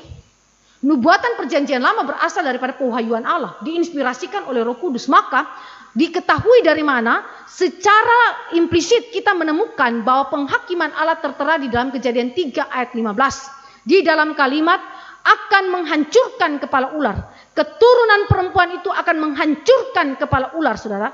Jadi kejadian 3 ayat 15 itu berbicara dua hal sekaligus mengenai kedatangan Kristus yang kedua, bahwa Kristus itu sebagai hakim atas seluruh dunia ini, dan dia akan menghancurkan kepala ular.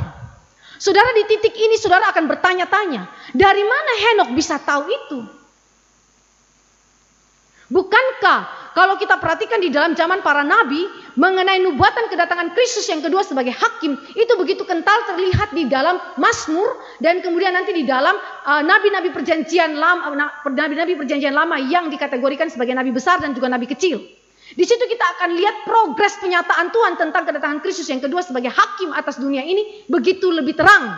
Tetapi kok aneh, di dalam catatan daripada Yudas dikatakan bahwa Henok Zaman kuno, bahkan sebelum Nuh, sebelum para patriark Abraham, Ishak dan Yakub, dia sudah lihat tentang kedatangan Kristus yang kedua. James Boyce memberitahukan kepada kita, kemungkinan besar Henok telah melihat penyataan Allah yang bahkan belum dilihat oleh Adam dan keturunan sebelumnya. Ini adalah sesuatu yang begitu spesifik yang Allah berikan kepada Henok yang tidak diberikan kepada generasi sebelumnya kepada keturunan daripada Set sebelumnya, bahkan kepada Adam maupun kepada kepada Set. Mereka tidak melihatnya, tetapi Henok telah melihatnya. Saudara yang dikasih oleh Tuhan Yesus Kristus ini memberikan kepada kita indikasi yang sangat penting sangat penting sekali mengenai doktrin. Doktrin eh, orang-orang percaya yang ada di dalam zaman kuno, zaman Adam, Adam dan Hawa, ya pre mosaik, pre para patriark, dan juga sebelum daripada zaman Nuh. Apakah mereka mengenal Kristus dan karya dia yang akan datang nanti? Baik pertama maupun kedua jawabnya iya.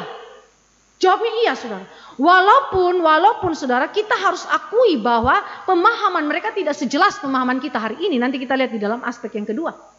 Tetapi saudara, kalimat ini menunjukkan kepada kita apa yang disaksikan oleh Yudas bahwa Henok mendapatkan wahyu khusus daripada Allah, inspirasi Roh Kudus yang bahkan belum pernah dilihat oleh Adam. Tentang siapa? Kristus yang datang kedua kali. Jadi iman mereka adalah iman yang menatap kepada Kristus yang adalah penyelamat sekaligus hakim yang akan datang. Ya, itu terlihat dengan jelas di dalam implikasi daripada kejadian 3 ayat 15 menghancurkan kepala ular. Yang kedua, Henok ketika dia memberikan proklamasi mengenai e, kebenaran Allah itu juga mencakup mengenai kedatangan Kristus yang pertama. Bagi mereka yang hidup dalam bumi yang rusak itu dan dia meneriakkan mengenai penghakiman Allah atas dunia ini, itu adalah sesuatu yang sangat-sangat penting untuk apa memanggil mereka ke, dalam pertobatan. Tetapi bagaimana mereka bisa datang ke dalam iman dan pertobatan yang sejati? Kristus harus disodorkan. Kristus harus disodorkan dengan cara apa? Kejadian 3 ayat 15 ya. Dialah penyelamat kita. Dialah yang adalah pribadi yang memberikan iman dan pengharapan bagi penebusan umat Allah, bagi mereka yang bertobat dari dosa-dosanya yang mendengarkan peringatan daripada Henok pada waktu itu. James Boyce mengatakan bahwa pada permulaan penyataan Allah di zaman Adam dan keturunannya, kemungkinan orang-orang percaya belum memiliki pemahaman yang jelas mengenai pribadi dan karya penebusan Kristus, ya, sejelas pemahaman gereja masa kini, ya. Pribadi dan karya penebusan Kristus masih bersifat samar-samar, terbatas pada arti simbolik daripada korban binatang. Kejadian 3 ayat 21. Itu sebabnya waktu uh, Habel mempersembahkan korban binatang dengan memberikan lemak-lemaknya yang terbaik, saudara implikasi di belakang itu apa? Pengharapan akan keselamatan. Kalau dia memberikan korban binatang seperti yang Allah kerjakan kepada Adam dan Hawa dalam kejadian 3 ayat 21, implikasinya Habel mengakui dirinya berdosa dan dia membutuhkan juru selamat. Dan siapakah juru selamat itu? Kejadian 3 ayat 15. Dialah pribadi yang akan menghancurkan kepala ular itu. Dan pengharapan itu turun sampai kepada Henok. Dan itu adalah pewahyuan khusus Allah yang diterima juga oleh Henok melalui tradisi lisan yang diberitakan kepada orang-orang pada zaman itu. Jadi di dalam zaman yang rusak itu, di dalam hati manusia yang hanya mengeluarkan kejahatan semata-mata, di dalam perbuatan mereka yang penuh dengan kekerasan, Allah telah menghadirkan Injil yang berisi mengenai penghakiman Allah dan karya penyelamatan Allah. Itu adalah sesuatu yang begitu indah. Saudara yang berdosa, saudara tidak bertobat, saudara binasa. Tetapi jika saudara bertobat, saudara akan mendapatkan keselamatan di dalam Kristus yaitu kejadian 3 ayat 15. Jadi mereka mendapatkan esensi Injil yang sama dengan esensi Injil yang kita terima pada zaman sekarang. Ataupun pada zaman perjanjian baru yang sudah digenapi di dalam Yesus Kristus. Saudara yang dikasih oleh Tuhan Yesus Kristus itu sebabnya Henok disebut sebagai nabi. Henok disebut sebagai pemberita kebenaran. Karena di tengah-tengah keadaan yang demikian dia bersuara, dia berteriak dengan keras. Dia berbicara saudara. Saudara yang dikasih oleh Tuhan Yesus Kristus ini sesuatu yang sangat indah bukan? Saudara, jika ada satu zaman yang sudah amat rusak dan sebentar lagi mencapai titik klimaks untuk dihancurkan, tetapi masih ada suara hamba Tuhan yang berteriak untuk kemudian memanggil manusia berdosa diselamatkan dan menegur mereka dan memberitahukan kepada mereka penghakiman Allah itu adalah anugerah Allah yang besar bagi zaman itu. Dan bagi orang-orang yang mendengarkan tetapi telinganya tetap tertutup, dia akan binasa di dalam keberdosaan. Kedua, apa yang menjadi inti pemberitaan daripada Henok yang dicatat dalam Yudas 1 ayat 14 dan ayat yang ke-15? Ini berbicara mengenai sebuah keluhan dan sekaligus dakwaan atas orang fasik dan segala perbuatannya yang jahat. Saudara istilah fasik itu disebutkan lebih dari satu kali dalam Yudas 1 ayat 15. Hanya satu ayat ayat 15 tapi kata fasik diulang lebih dari satu kali. Berarti mendapatkan penekanan, ya, mendapatkan penekanan.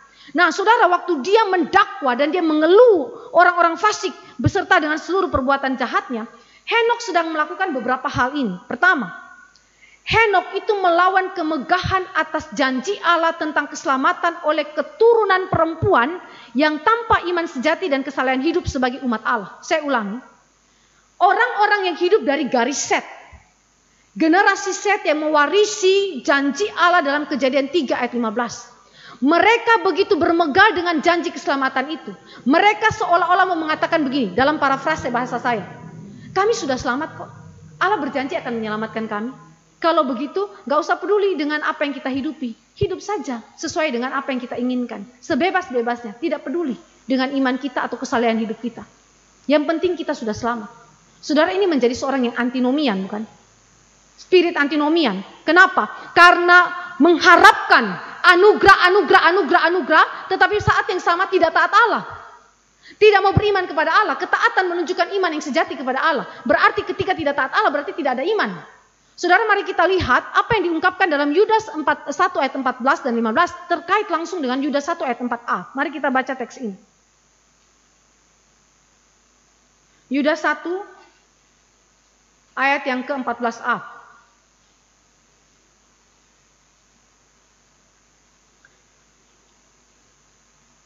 Saya baca ayat yang ke-15 dari Yudas 1 ayat 15 lalu kita pindah ke dalam ayat yang ke-4a ya. Hendak menghakimi semua orang dan menjatuhkan hukuman atas orang-orang fasik karena semua perbuatan fasik yang mereka lakukan dan karena semua kata-kata nista yang diucapkan orang-orang berdosa yang fasik itu terhadap Tuhan. Lalu kita lihat di dalam ayat 4a. Sebab ternyata ada orang tertentu yang telah masuk menyelusup di tengah-tengah kamu, yaitu orang-orang yang telah lama ditentukan untuk dihukum.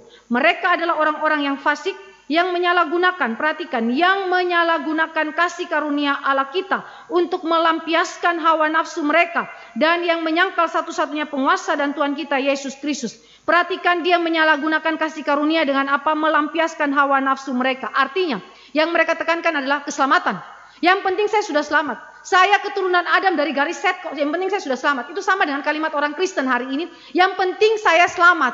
Tidak peduli bagaimana pola hidup saya, cara hidup saya, iman saya di dalam dunia ini seperti apa. Maka Allah menghadirkan Henok untuk kemudian memperingatkan generasi daripada garis set juga. Kalau saudara perhatikan dari garis set, semua juga dibunuh mati kecuali siapa? Delapan orang dari keluarga Nuh. Nuh beserta istrinya, tiga anak dan tiga menantunya. Di mana keturunan set yang lain? Binasa bukan di dalam air bah? Berarti mereka, mereka mengikuti jalan kain. Mereka adalah orang-orang yang bermegah atas anugerah, anugerah, anugerah, tetapi tidak menaati Tuhan. Mereka mengkontraskan antara hukum dan Injil. Padahal di dalam Alkitab, semua orang diselamatkan oleh Tuhan pasti hidup beriman dan taat kepada Allah. Tapi mereka kontraskan, menekankan anugerah saja. Dan orang-orang yang demikian, orang-orang yang menghina akan penebusan Kristus. Amos 5 ayat 18 sampai dengan ayat 19 menegaskan hal ini. Israel bermegah dengan keselamatan mereka. Kami umat pilihan Allah. Allah pasti selamatkan kami. Allah tidak mungkin menghukum kami. Akan datang hari Tuhan di mana kejayaan akan datang atas Israel. Kegemilangan, keselamatan akan datang bagi Israel. Amos bilang apa? Celakalah kamu. Yang menanti-nantikan hari Tuhan, celakalah kamu. Kenapa? Karena pada hari itu bukan hari kesukaan, tetapi hari itu adalah hari penghakiman bagi kamu saudara yang dikasih oleh Tuhan Yesus Kristus, maka saudara sebagai orang Kristen perlu bertobat. Ketika saudara melihat konteks hidup daripada Henok. Henok berteriak bukan saja kepada kaum orang-orang yang dari garis kain. Tetapi kepada kaum dari garis set. Karena pada akhirnya titik kulminasi air bah membuktikan hanya delapan orang yang diselamatkan dari garis set. Yang kedua saudara, dakwaan atas orang fasik dan segala perbuatan yang jahat. Menegaskan ya Henok menegaskan prinsip firman tentang sifat Allah yang adalah kasih dan adil. Keduanya harus berjalan semuanya. Semua yang berjalan di dalam jalan kain pasti binasa kecuali mereka bertobat dan percaya kepada Allah dan firman-Nya. Ini adalah panggilan pertobatan. Kasih dan keadilan Allah ditegaskan di dalam dakwaan kepada orang fasik. Itu terimplisit di dalam kalimat daripada Yudas. Lalu di dalam hal yang selanjutnya kita bisa lihat bagaimana Henok itu memperjuangkan proklamasi Injil Kristus dengan begitu seimbang kasih dan keadilan Allah itu dengan hal ini. Saudara baca kondisi zaman yang saya jelaskan di dalam teks ini, Kejadian 6 ayat 1 sampai 7. Zaman itu rusak dan zaman yang rusak ditandai dengan berbagai kejahatan yang makin meningkat dan makin menyebar di seluruh muka bumi yang pada waktu itu dikenali. Apa saja yang menjadi indikasi kejahatan mereka di dalam teks-teks yang ada? Yang pertama, Yudas 1 ayat 4a tadi mengabaikan Allah dan firman-Nya. Di situ disebutkan menyangkali Allah dan Kristus. Implikasinya saudara bisa memikirkan pada waktu Henok sebagai nabi dan pemberita kebenaran bicara berteriak, memanggil orang-orang pada zaman itu untuk bertobat. Memberikan pemberitaan mengenai Kristus. Apa yang mereka lakukan? Mereka lecehkan firman itu. Mereka anggap itu sesuatu yang ah, omong kosong. Sesuatu yang tidak memiliki implikasi teologis, memiliki implikasi iman dalam hidup mereka, dan tidak memiliki hubungan korelasi langsung dengan hidup mereka di bumi ini. Saudara perhatikan, di dalam Yudas 1 ayat 4 menjelaskan hal ini. Itu sebabnya diangkat Henok sebagai contoh. Karena orang bersangkutan adalah orang-orang yang menyangkal satu-satunya penguasa yaitu Allah dan Tuhan kita Yesus Kristus. Kristus sudah dikenal sejak zaman perjanjian lama, sejak zaman Adam. Walaupun dalam bentuk yang samar-samar secara simbolik. Tetapi tetap saja pemberitaan Henok ketika tidak diterima. Ketika tidak diimani. Berarti saat itu mereka menyangkali Allah yang mengutus Henok. Dan pemberitaan mengenai Kristus yang disampaikan oleh Henok. Kedua, Saudara lihat di dalam zaman yang rusak itu ketika Henok sedang mendakwa orang fasik itu, mereka terlibat di dalam perkawinan campur antara orang percaya dan orang yang tidak percaya yang digambarkan di dalam kejadian 6 itu sebagai pernikahan antara malaikat dan anak-anak perempuan dari manusia itu. Ya, malaikat itu bukan mengacu kepada malaikat yang adalah malaikat surgawi ya Saudara, karena orang-orang percaya pun disebut sebagai malaikat. Ya. Jadi itu berarti saudara yang dimaksudkan di dalam teks itu adalah orang-orang percaya umat Allah garis keturunan daripada Set bercampur dengan garis keturunan anak-anak perempuan manusia itu yaitu dari garis Kain. Karena malaikat tidak pernah hidup dalam hubungan seksualitas atau perkawinan, mereka adalah makhluk rohani. Satu-satunya makhluk yang bisa menikah dan memiliki keturunan adalah manusia di dalam aspek uh, sebagai mahkota ciptaan Allah.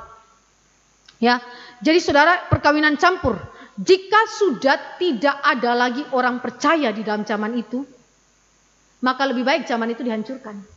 Ini pandangan Tuhan. Di mana ada percampuran antara orang percaya dan orang tidak percaya di dalam perkawinan, berarti itu berarti dia akan melahirkan generasi-generasi yang tidak kenal Allah. Maka sebaiknya zaman itu dihancurkan beserta penduduk di bumi itu. Dan itu yang terjadi dalam air bah, bukan? Allah hancurkan semuanya kecuali Nuh dan keluarganya yang mendapat kasih karunia dari Tuhan. Termasuk dari keturunan Set dibunuh mati oleh Tuhan. Kenapa saudara perkawinan campur? Jadi itu berarti saudara yang memiliki anak-anak yang sudah di dalam jenjang akan memiliki uh, pasangan hidup. Di dalam pacaran atau apa pun saudara harus perhatikan. Yang terang tidak boleh bersatu dengan yang gelap. Ya, jadi itu berarti ini peringatan juga bagi saudara supaya jangan saudara mengulangi dosa yang sama dengan di zaman daripada Henok. Orang-orang itu hidup dalam materialisme. Materialisme berarti dia ukur segala sesuatu dari aspek bendawi. Sesuatu yang dapat terobservasi, sesuatu yang dapat memuaskan dirinya, yang dapat dilihat.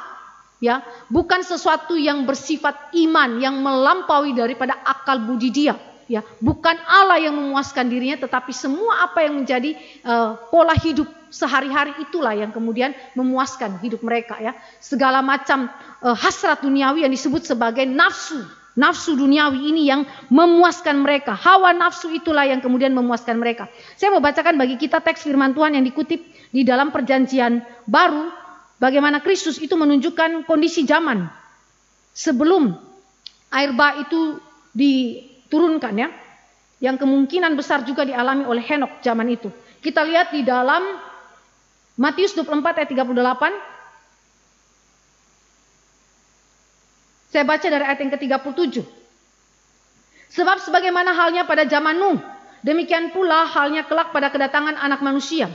Sebab sebagaimana mereka pada zaman sebelum air bah, perhatikan pada zaman sebelum air bah, implikasinya meliputi zaman daripada Henok. Sebelum air bah itu makan dan minum, kawin dan mengawinkan sampai kepada hari Nuh masuk ke dalam batra dan mereka tidak tahu akan sesuatu sebelum air bah itu datang dan melenyapkan mereka semua. Demikian pula lah halnya kelak pada kedatangan anak manusia. Kalimat mereka tidak tahu akan sesuatu ini bukan berarti mereka tidak tahu kebenaran. Karena sejak zaman Henok sebelum air bah, berarti sebelum zaman Nuh, mereka sudah tahu kebenaran. Henok sudah memberitakan kebenaran. Tapi mereka punya cara hidup adalah materialisme. Kawin dan mengawinkan, ya. Hidup, makan, minum, ya. Puaskan hawa nafsu dengan segala macam kenikmatan dunia ini. Dan tidak peduli iman, tidak peduli Allah, tidak peduli firman. Karena itu Allah habisi mereka di dalam air bah. Hidup yang penuh dengan self-center, cinta diri. Dan bahkan terjadi pembunuhan demi pembunuhan. Dan mereka bangga dengan keadaan itu. Seperti Lamek bangga dan persatuan antara keturunan daripada Lamek dan keturunan daripada garis set. Bayangkan apa yang terjadi. Prinsip-prinsip iman itu dicampur adukan. Tidak jelas lagi di mana standar moral mereka. Saudara ini sesuatu yang mengerikan sekali, keadaan yang mengerikan sekali. Dan penggenapan daripada dakwaan Henok itu terlihat di dalam jangka pendek air bah yang terjadi kejadian pasal 7 dan kemudian dikonfirmasikan oleh Yesus di dalam Matius 24 ayat yang ke-38 tadi dan penghakiman di akhir zaman dalam jangka panjang Matius 24 ayat 37 sampai 39. Saya baca ayat yang ke-39 dan mereka tidak tahu akan sesuatu sebelum air bah itu datang dan melenyapkan mereka semua. Demikian pula lah halnya kelak pada kedatangan anak manusia. Yakni kedatangan Kristus yang kedua. Yang sudah dilihat oleh Henok. Sebelum zaman tiba. Henok sudah lihat itu. Itu akan digenapkan dan kita semua akan menuju ke sana. Saudara yang dikasih oleh Tuhan Yesus Kristus dengan demikian, hal kedua yang kemudian menjadi aspek proklamasi daripada Henok ini menjadi suatu keseriusan dan peringatan yang besar kepada zaman kita. Supaya jangan sampai saudara dan saya kawin dan mengawinkan, makan, minum, hidup biasa saja. Tidak mengaitkan hidup yang materi ini dengan aspek rohani. Dan akhirnya saudara binasa pada waktu Yesus datang kedua kali. Ketiga, iman Henok bukan saja terlihat di dalam pelayanan dia sebagai seorang nabi dan pemberita kebenaran, tetapi hal yang ketiga yang disebutkan dalam kejadian 5 ayat 22a dan 24. Saya bacakan bagi kita. Kejadian 5 ayat 22a. Dan Henok hidup bergaul dengan Allah selama 300 tahun lagi setelah ia memperanakan Metusala dan ia memperanakan anak-anak lelaki dan perempuan. Jadi kita lihat lagi dalam ayat yang ke-24. Dan Henok hidup bergaul dengan Allah. Lalu ia tidak ada lagi sebab ia telah diangkat oleh Allah. Saudara yang dikasih oleh Tuhan Yesus Kristus, apa maksudnya hidup bergaul atau berjalan dengan Allah? Terjemahan hidup bergaul ini lebih tepatnya berjalan dengan Allah. Bukan berlari, tetapi berjalan. Saudara, istilah yang James Boyce itu sindir kepada kehidupan kekristenan. Dia bilang bahwa kejadian 5 ayat 22a dan 24 mengatakan bahwa Henok itu berjalan dengan Tuhan, bukan berlari. Dengan gaya sprint. Maksudnya apa saudara James Boyce ngomong bicara, bicara begini saudara. James Boyce bilang begini, banyak orang Kristen yang gegabah. Yang terlihat begitu menggebu-gebu ikut Tuhan. Tapi fakta hidupnya, dia tidak bertekun dalam imannya dan binasa dalam dosa. Karena itu waktu saudara dan saya belajar mengenai kehidupan Henok. Bergaul Berjalan dengan Allah, saudara, ini adalah memiliki empat arti penting. Dan ini menjadi implikasi langsung di dalam iman kita gereja Tuhan yang hidup zaman sekarang. Jadi waktu kita belajar iman Henok, saudara harus ingat bahwa Henok bisa berjalan dengan Allah ini karena Tuhan yang bekerja. Ini karena Tuhan, bukan karena Henok. Sebagaimana tadi saya katakan sejak awal, bahwa jika ada keluarga-keluarga kaum sisa yang setia kepada Tuhan itu karena kesetiaan Allah, bukan karena kesetiaan Henok. Mari kita mulai melihat empat arti daripada hidup bergaul atau berjalan dengan Allah yang merupakan karakteristik iman Henok. Pertama, arti hidup bergaul atau berjalan dengan Allah adalah berjalan di dalam iman. Saudara lihat di dalam Ibrani pasal 11 ayat 5, kesaksian daripada pahlawan iman.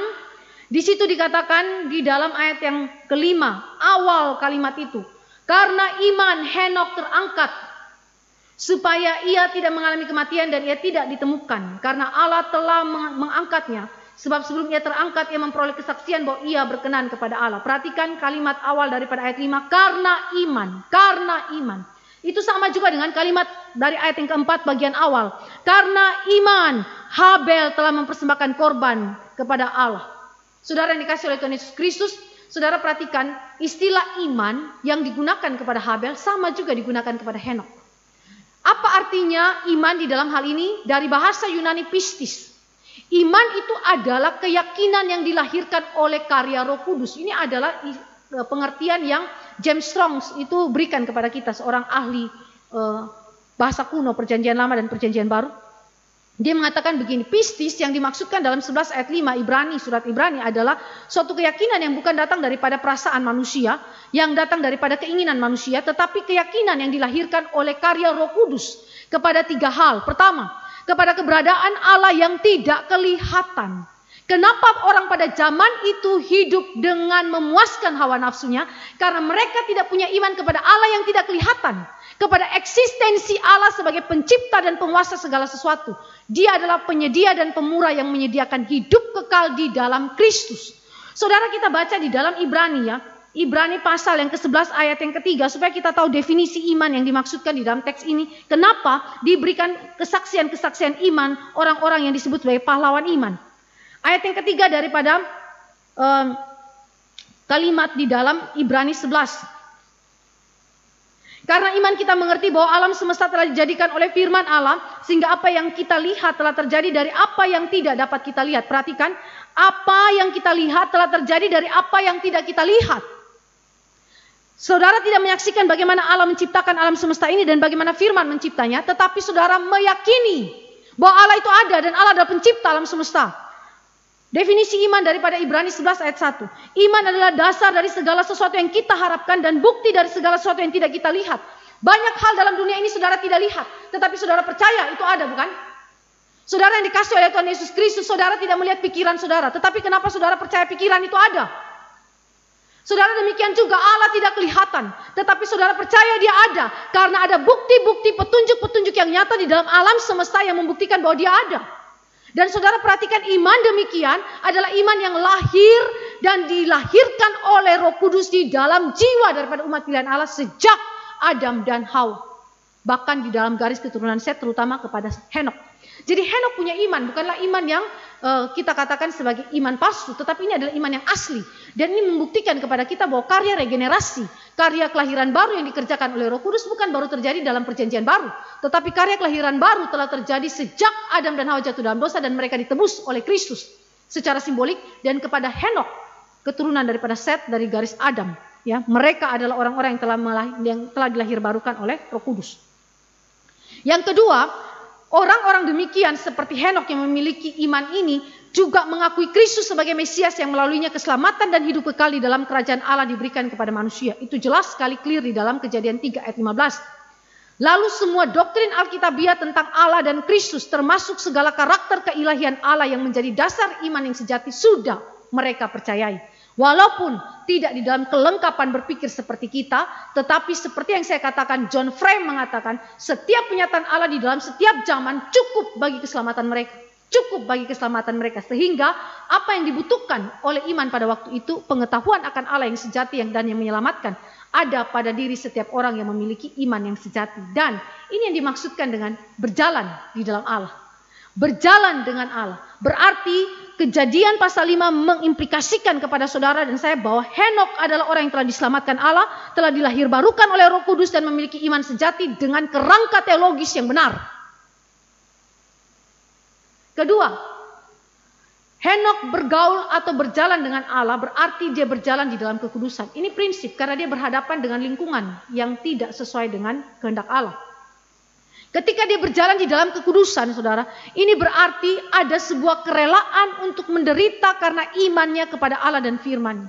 Saudara yang dikasih oleh Tuhan Yesus Kristus, dikatakan di dalam Alkitab, Lot, contoh, seorang yang benar, jiwanya begitu tersiksa ketika melihat keadaan lingkungan dia di Sodom dan Gomora.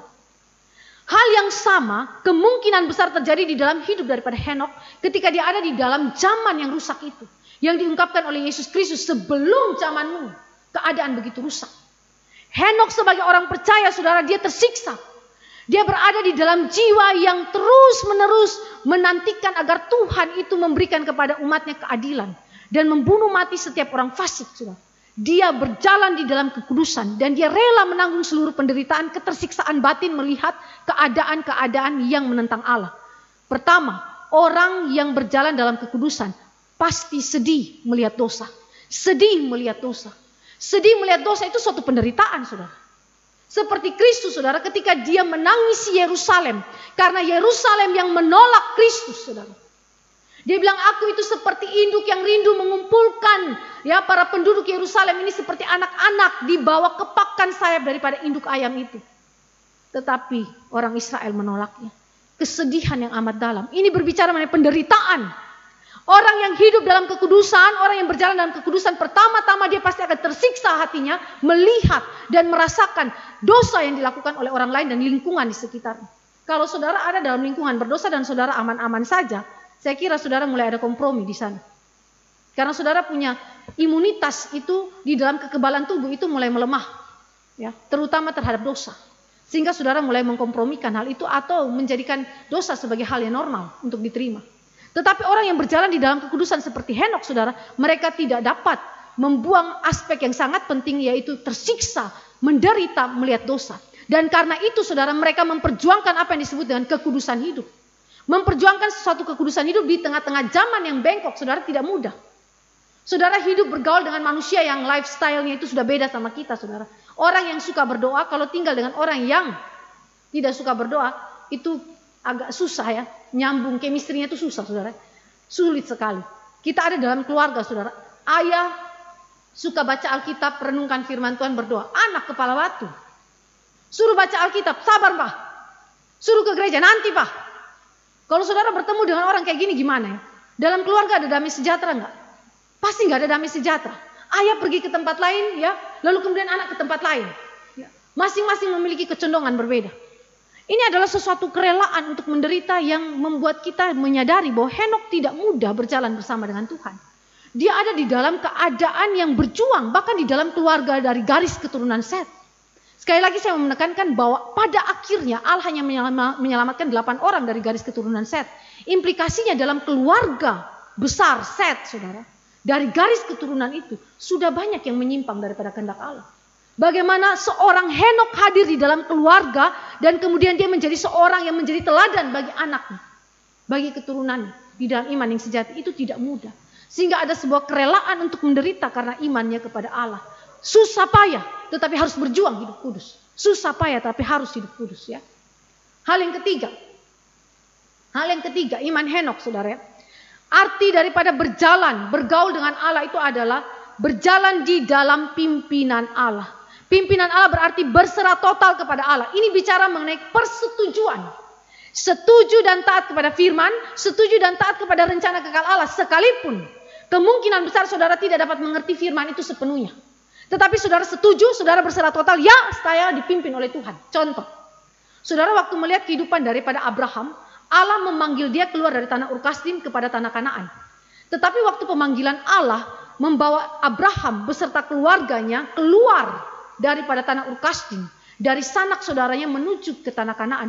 Allah tidak beritahukan di mana tanah Kanaan dan apa nama tanah yang dituju.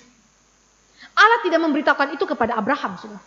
Tetapi saudara di dalam iman Abraham mengambil keputusan membawa keluarganya keluar dari Urkastim. Keluar dari Urkastim berarti keluar dari mana? Keluar daripada seluruh tatanan masyarakat yang merupakan orang-orang yang menyembah berhala. Kesaksian daripada Stefanus maupun kesaksian dari Yosua menjelaskan kepada kita bahwa Abraham di seberang sungai Efrat mereka hidup dalam penyembahan berhala. Jadi ketika Allah panggil mereka keluar daripada tanah Urkastim dan meninggalkan masyarakat, meninggalkan lingkungan hidup mereka, berarti mereka meninggalkan penyembahan mereka yang lama.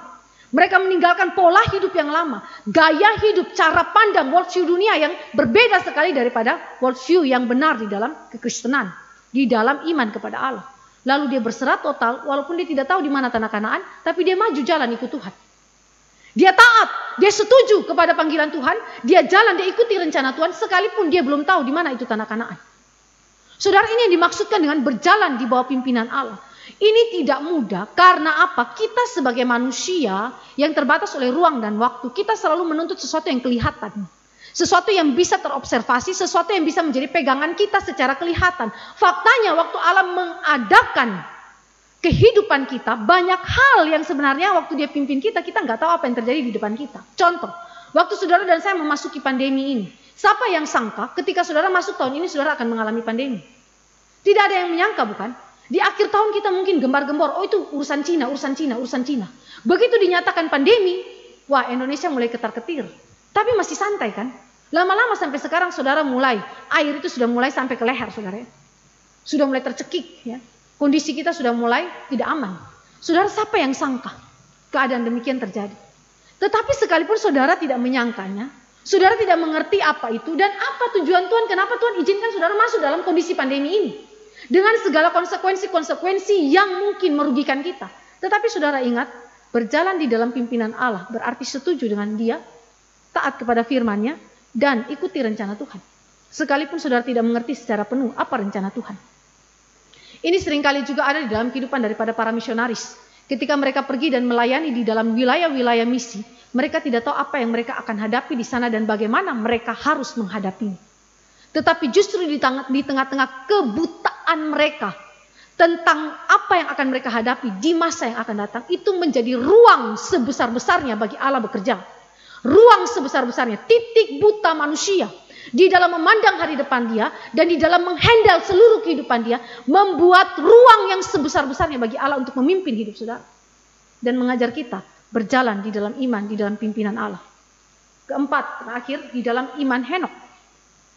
Kita lihat apa artinya berjalan, bergaul dengan Allah.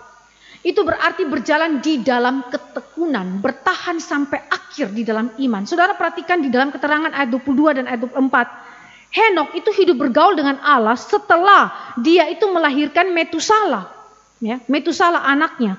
Baru dicatat dia hidup bergaul. Ya. Selama berapa tahun? 300 tahun. Dia memperanakan Metusala pada usia berapa? 65 tahun. Lalu dia hidup 300 tahun lagi dan kemudian dia terangkat ke surga. Berarti Henok itu berjuang di dalam imannya, bertekun dalam imannya 300 tahun. Siapa di sini yang bisa berjuang bertekun dalam iman 300 tahun di tengah-tengah kondisi yang tidak kondusif, keadaan lingkungan yang rusak, keluarga yang tidak mendukung, ya, keadaan keluarga yang makin hari makin jatuh dalam dosa. Saudara siapa yang bisa bertahan? Tetapi ini yang saya mau katakan. Dia di dalam ketekunan berjalan dalam imannya menetapkan hatinya setia kepada Allah dalam periode waktu yang panjang dan melewati beragam kesukaran hidup. Ketekunan itu bukan didapatkan dalam uh, waktu yang sangat singkat. Saudara mungkin waktu berjumpa dengan anak-anak saudara yang saudara yakini sudah percaya kepada Tuhan Yesus, saudara lihat ini anak kok tidak taat kepada Tuhan. Ya tidak percaya kepada Tuhan. Tapi suatu waktu ketika dia sudah percaya kepada Tuhan, saudara perhatikan konfirmasi iman dia itu bukan terlihat pada waktu dia percaya kepada Tuhan saja. Tetapi seluruh hidup dia sampai dengan titik akhir dia meninggal dunia. Itu menjadi konfirmasi seluruh iman dia. Itu sebabnya John Calvin mengatakan bahwa konfirmasi terakhir iman seseorang itu sejati atau tidak lihat akhir hidup dia, kematian dia. Saudara yang dikasih oleh Tuhan Yesus Kristus itu berarti selama periode 300 tahun Sejak pertama kali Allah mengerjakan iman di dalam jiwa daripada Henok sampai titik akhir hidup dia. Dia setia kepada Tuhan. Setia kepada Tuhan. Saudara yang dikasih oleh Tuhan Yesus Kristus pertanyaannya siapa yang kerjakan ini? Allah yang kerjakan itu. Allah yang memungkinkan Henok memiliki ketetapan hati dan kesetiaan dalam periode waktu yang panjang. Periode waktu yang panjang. Tidak ada satu orang pun yang mengetahui detik-detik selanjutnya apakah saya setia kepada Tuhan atau tidak. Fakta membuktikan bahwa perjalanan hidup orang-orang percaya kebanyakan adalah catatan-catatan ketidaktaatan. Tetapi jika Allah mengatakan bahwa 300 tahun Henok berjalan bersama Tuhan, apakah Henok tidak pernah jatuh dalam dosa? Jawabnya tentu dia pernah jatuh dalam dosa. Tetapi dia dipelihara Tuhan, ditopang oleh Tuhan sedemikian sehingga oleh pekerjaan Roh Kudus dia setia sampai akhir. Setia sampai akhir. Kedua, kesetiaan sampai akhir itu bukan saja dilihat di dalam ketekunan iman dari awal dia itu percaya Tuhan sampai dengan akhir hidup. Tetapi juga dilihat dalam pertumbuhan iman dan pengenalan dia akan firman Allah. Jadi seorang Kristen sejati tidak boleh menjadi Kristen yang kanak-kanak saja. Ini ditegur oleh Rasul Paulus. Kamu ini tidak bisa makan makanan keras, hanya susu makananmu. Dengan kata lain, Paulus menegur jemaat Tuhan yang ada di Korintus. Kenapa? Karena mereka tidak bertumbuh di dalam iman mereka, di dalam pengenalan akan firman Kristus. Karena itu saudara berjalan di dalam ketekunan bukan saja berbicara mengenai kesetiaan dalam periode waktu yang lama. Tetapi juga berbicara mengenai pertumbuhan iman, pengenalan akan firman, menjadi seorang yang dewasa secara rohani, yang makin hari makin mengasihi Allah dan sesamanya, makin hari makin membenci dosa. Saudara saya jelaskan membenci dosa ini mengenai ini. Saudara memiliki kejijikan kepada dosa, persis seperti Allah jijik terhadap dosa. Dan definisi dosa itu harus sama dengan definisinya Allah. Kenapa saudara? Karena sering kali kita mereduksi arti dosa berdasarkan kepentingan kita. Untuk apa? Mengexcuse diri kita supaya kita tidak terlalu merasa bersalah. Kita mencoba untuk meringankan dosa kita dengan kata-kata apa saja yang kita bisa ungkapkan untuk kemudian membuat diri kita itu tidak terlalu bersalah. Tetapi saudara perhatikan, orang yang benci dosa adalah orang yang merasa jijik terhadap dosa, persis seperti Allah jijik dosa. Dan yang kedua, orang itu menilai dosa, mendefinisikan dosa seperti Allah mendefinisikan dosa. Di titik ini saudara tidak ada kompromi terhadap dosa. Dengan demikian saudara dan saya melihat bagaimana perjuangan hidup bersama Tuhan. Perjuangan berjalan dengan Tuhan tidak mudah bukan? Tidak mudah. Kita bicara begini saudara, ini seperti teori-teori. Teori-teori yang ada di layar yang kita bisa baca begitu saja. Tetapi ini adalah iman kita. Saudara mempelajari Henok, iman Henok berarti saudara dan saya harus memiliki iman yang sama dengan Henok. Problemnya adalah bagaimana Henok memilikinya karena Allah telah bekerja dalam dirinya dan Allah yang memungkinkan semuanya itu bisa terrealisasi dalam kehidupan Henok. Keempat, saudara dan saya melihat mengenai iman Henok terakhir mengenai karakteristik daripada iman Henok yang bisa kita pelajari. Di dalam Ibrani 11 ayat 5b dikatakan bahwa dinan kepada Allah pada akhirnya dari semua yang diungkapkan oleh Alkitab tentang Henok, tentang iman Henok, pada akhirnya kesimpulan Alkitab, kesaksian Alkitab, kesaksian tertinggi dari Allah bagi seorang manusia adalah dia berkenan kepada Allah.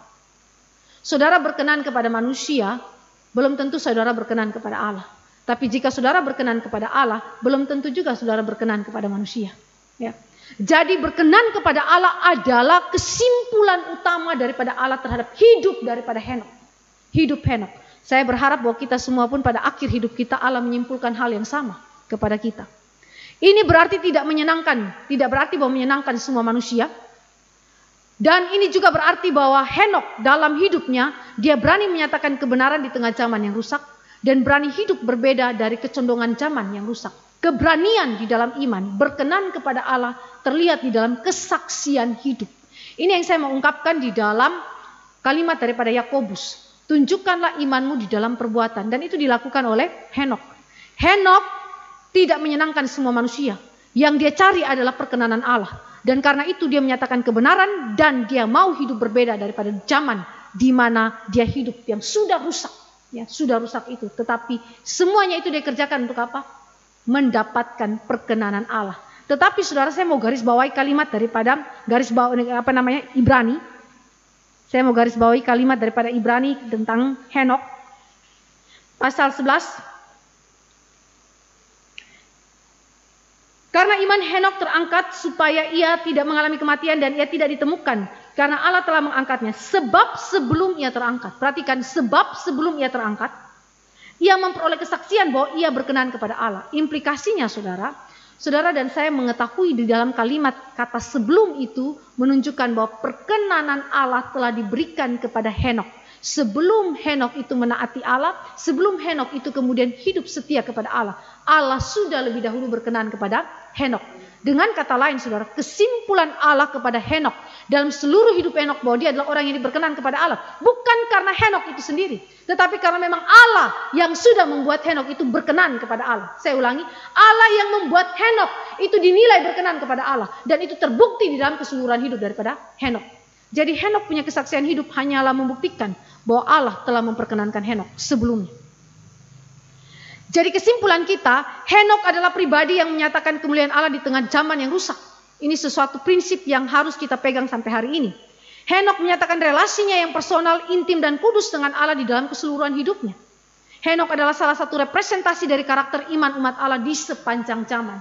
Yang sekali lagi juga harusnya kita sebagai umat Allah miliki dan juga kita ikuti dalam kehidupan kita sehari-hari. Nah, saudara yang dikasih oleh Tuhan Yesus Kristus, mari kita lihat poin yang lain, yaitu Henok diangkat ke sorga. Ya, Henok diangkat ke sorga. Kalau tadi kita lihat karakteristik daripada iman Henok, sekarang kita lihat mengenai Henok diangkat ke sorga.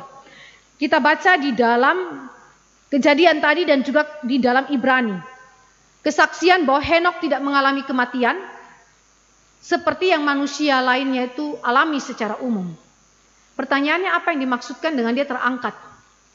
Saudara yang dikasih oleh Tuhan Yesus Kristus, ide mengenai terangkat ke sorga. Setelah manusia itu mengakhiri atau hidup manusia itu diakhiri di dalam dunia ini, saudara. Itu adalah suatu konsep yang tidak lazim di dalam Israel kuno. Saya ulangi, ide bahwa manusia itu terangkat ke sorga setelah hidupnya di dunia ini selesai, berakhir, itu adalah suatu konsep yang tidak lazim di dalam Israel kuno, bahkan di dalam zaman Adam. Ya. Hidup di dunia biasanya itu setelah berakhir, mereka akan memiliki konsep semua manusia itu kembali ke Seol. Seol adalah bahasa Ibrani bagi dunia orang mati.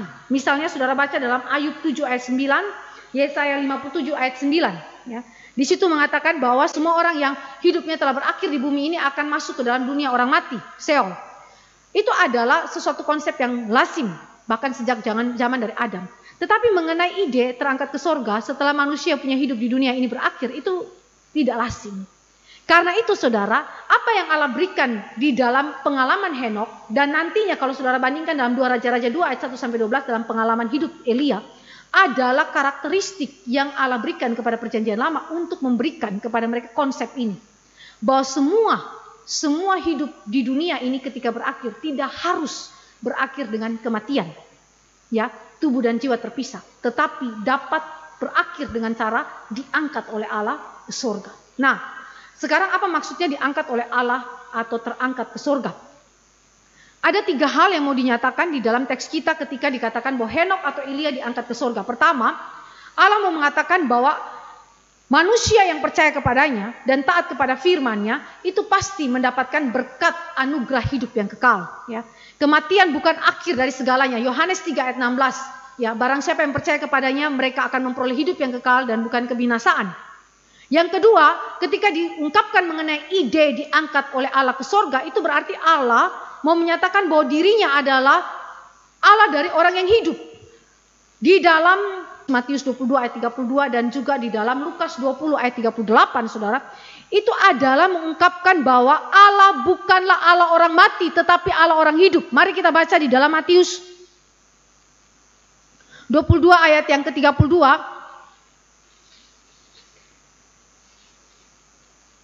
Di situ dikatakan, Akulah Allah Abraham, Allah Ishak dan Allah Yakub. Ia bukanlah Allah orang mati, melainkan Allah orang hidup. Dengan kata lain, kematian tidak menelan hidup yang berasal dari Allah, karena hidup itu datang dari Allah yang kekal, maka kematian tidak dapat menelannya. Ketiga, berbicara mengenai keberlanjutan relasi Allah dan umatnya di bumi, yang sudah dimiliki di dalam iman yang sejati oleh pekerjaan roh kudus, dan akan dilanjutkan di sorga sebagai kepenuhan daripada seluruh pengharapan iman dan kasih yang dinanti-nantikan oleh orang percaya. Saudara baca dalam Matius 17 ayat 3 dan Yohanes 8 ayat 56. Jadi kita mendapatkan prinsip, tiga prinsip ini melalui konteks Henok maupun Elia ketika diangkat oleh Allah ke sorga. Nah, saudara John Calvin menjelaskan bagaimanakah proses Henok dan juga Elia itu diangkat ke sorga. Saudara yang dikasih oleh Tuhan Yesus Kristus, saya pakai istilah John Calvin itu transformasi yang ada di dalam kebangkitan tubuh orang percaya. Henok dan Elia, kedua orang ini belum pernah berjumpa dengan Kristus, bukan? Tetapi di dalam iman mereka kepada Kristus, mereka mengalami kebangkitan tubuh. Walaupun mereka tidak mengalami apa yang disebut dengan kematian yang bersifat umum, seperti yang kita alami pada umumnya masuk ke Seol, seperti konsep daripada perjanjian lama. Tetapi mereka mengalami suatu transformasi bentuk kematian yang khusus. Saya ulangi, bentuk kematian yang khusus yang dijelaskan oleh Calvin sebagai transformasi di dalam tubuh kebangkitan orang percaya. Berdasarkan 1 Korintus 15 ayat 52 sampai 55. Saudara dikatakan oleh John Calvin demikian, orang percaya yang masih hidup itu harus diubah atau ditransformasi kepada tubuh rohani supaya dapat memasuki hidup yang kekal. Implikasinya, Henok maupun Elia tidak mungkin masuk ke sorga dengan tubuh alamiah mereka yang masih mungkin berdosa, yang masih mungkin jatuh dalam dosa, yang masih mungkin mati, yang masih mungkin mengalami sakit penyakit. Tidak mungkin mereka masuk dalam keadaan demikian. Mereka harus masuk di dalam tubuh yang ditransformasi atau tubuh yang diubahkan. Karena itu saya katakan bahwa mereka ada uh, uh, Henok dan juga Elia mengalami apa yang disebut dengan kematian yang khusus yang disebut sebagai transformasi oleh John Calvin di dalam kebangkitan tubuh orang percaya. Jadi mereka yang waktu masih hidup ketika Kristus itu datang kedua kali, ini dalam penjelasan 1 Korintus mereka tidak mengalami kematian seperti kematian umumnya. Sekali lagi, benih yang sudah ditanamkan di dalam konsep Henok dan Elia. Kematian adalah cara umum untuk mengubah hidup orang percaya, bukan kebangkitan. Perhatikan kalimat daripada John Calvin. Kematian adalah cara umum untuk mengubah hidup orang percaya, bukan kebangkitan. Jadi kapankah terjadi transformasi perubahan daripada tubuh yang alamiah menuju kepada tubuh sorgawi? Di dalam kematian. Kenapa? Karena di dalam 1 Korintus saudara 15 dikatakan bahwa Kristus telah hidup, telah mengalami transformasi ketika dia mengalami kematian.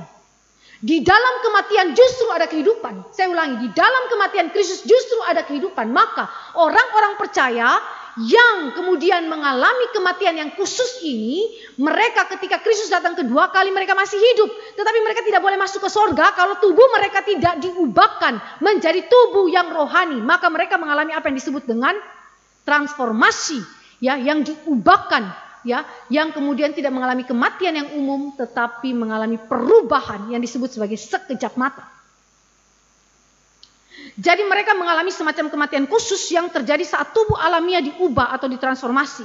Di dalam konsep daripada John Calvin, transformasi berarti menanggalkan atau melepaskan manusia lama beserta naturnya.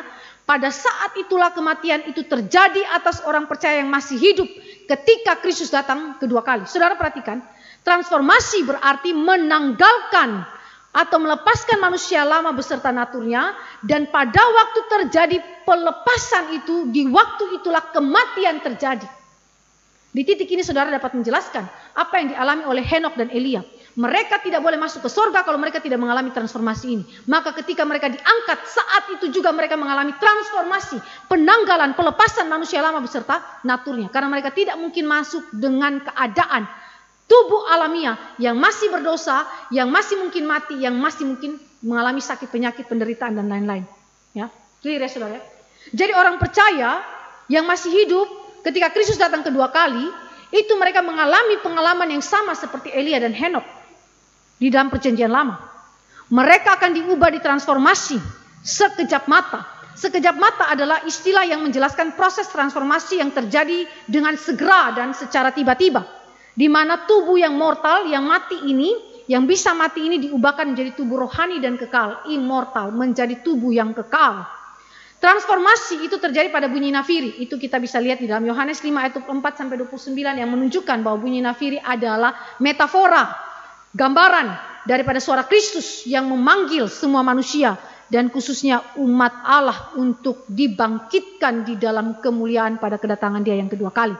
Jadi di dalam konteks penjelasan inilah, maka saudara dapat mengerti Henok dan Elia adalah cikal bakal penggambaran daripada apa yang akan dialami oleh orang percaya nanti ketika Kristus datang kedua kali ketika mereka masih hidup di dunia ini. Mereka belum mengalami kematian yang umum seperti dengan manusia lainnya.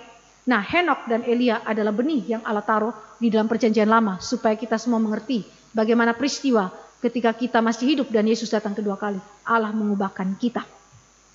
Nah, hal yang terakhir yang kita renungkan di dalam Henok, saudara, adalah terkait dengan bagaimana kita belajar Henok dan zamannya di dalam hubungan dan gereja masa kini. Ada empat hal yang saudara dan saya perlu amati daripada iman Henok dan bagaimana peranan Henok di dalam zamannya. Pertama, zaman Henok adalah zaman yang menentang Kristus yang juga sama dengan zaman di mana gereja ini hidup sekarang.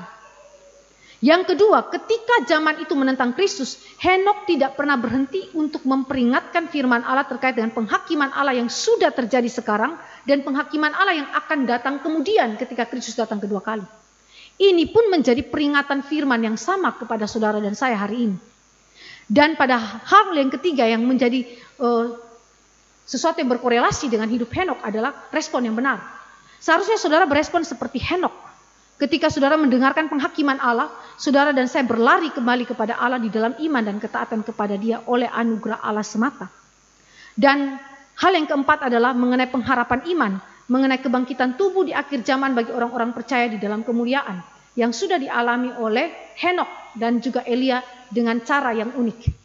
Kematian yang khusus, bukan kematian yang bersifat umum, tapi kematian yang khusus yang disebutkan oleh John Calvin sebagai transformasi yang dialami oleh umat Allah ketika Kristus datang kedua kali. Dengan demikian saudara waktu kita belajar mengenai Henok betapa hidup iman Henok memiliki implikasi teologis dan implikasi yang praktis di dalam kehidupan iman kita gereja Tuhan masa kini sampai dengan Yesus datang kedua kali. Kiranya firman Tuhan hari ini memberkati kita dan membuat kita semakin hidup saleh di hadapan Tuhan, taat firman dan menyaksikan hidup kita di dalam iman yang benar kepada keluarga dan kepada zaman ini supaya Tuhan dimuliakan melalui kita. Mari kita berdoa. Bapa di sorga kami datang kepada Tuhan bersyukur untuk kasih karunia Allah yang begitu besar bagi kami dalam pembelajaran akan Henok. Kami bersyukur karena begitu banyaknya detail firman Allah yang memperingatkan kami dan memberikan kepada kami hati yang sungguh-sungguh serius memikirkan hidup kami sebagai pribadi maupun sebagai keluarga Kristen di hadapan Tuhan. Dan biarlah iman Henok mengajarkan kami bagaimana kami harus berespon kepada Allah kami dan menghidupi hari-hari hidup kami di dalam zaman yang rusak ini dan kemudian melalui hidup kami Tuhan dimuliakan. Bahkan banyak orang boleh datang kepada Kristus melalui Injil yang kami beritakan. Terima kasih Bapa di sorga. Di dalam nama Yesus Kristus Tuhan kami berdoa dan menaikkan syukur. Amin.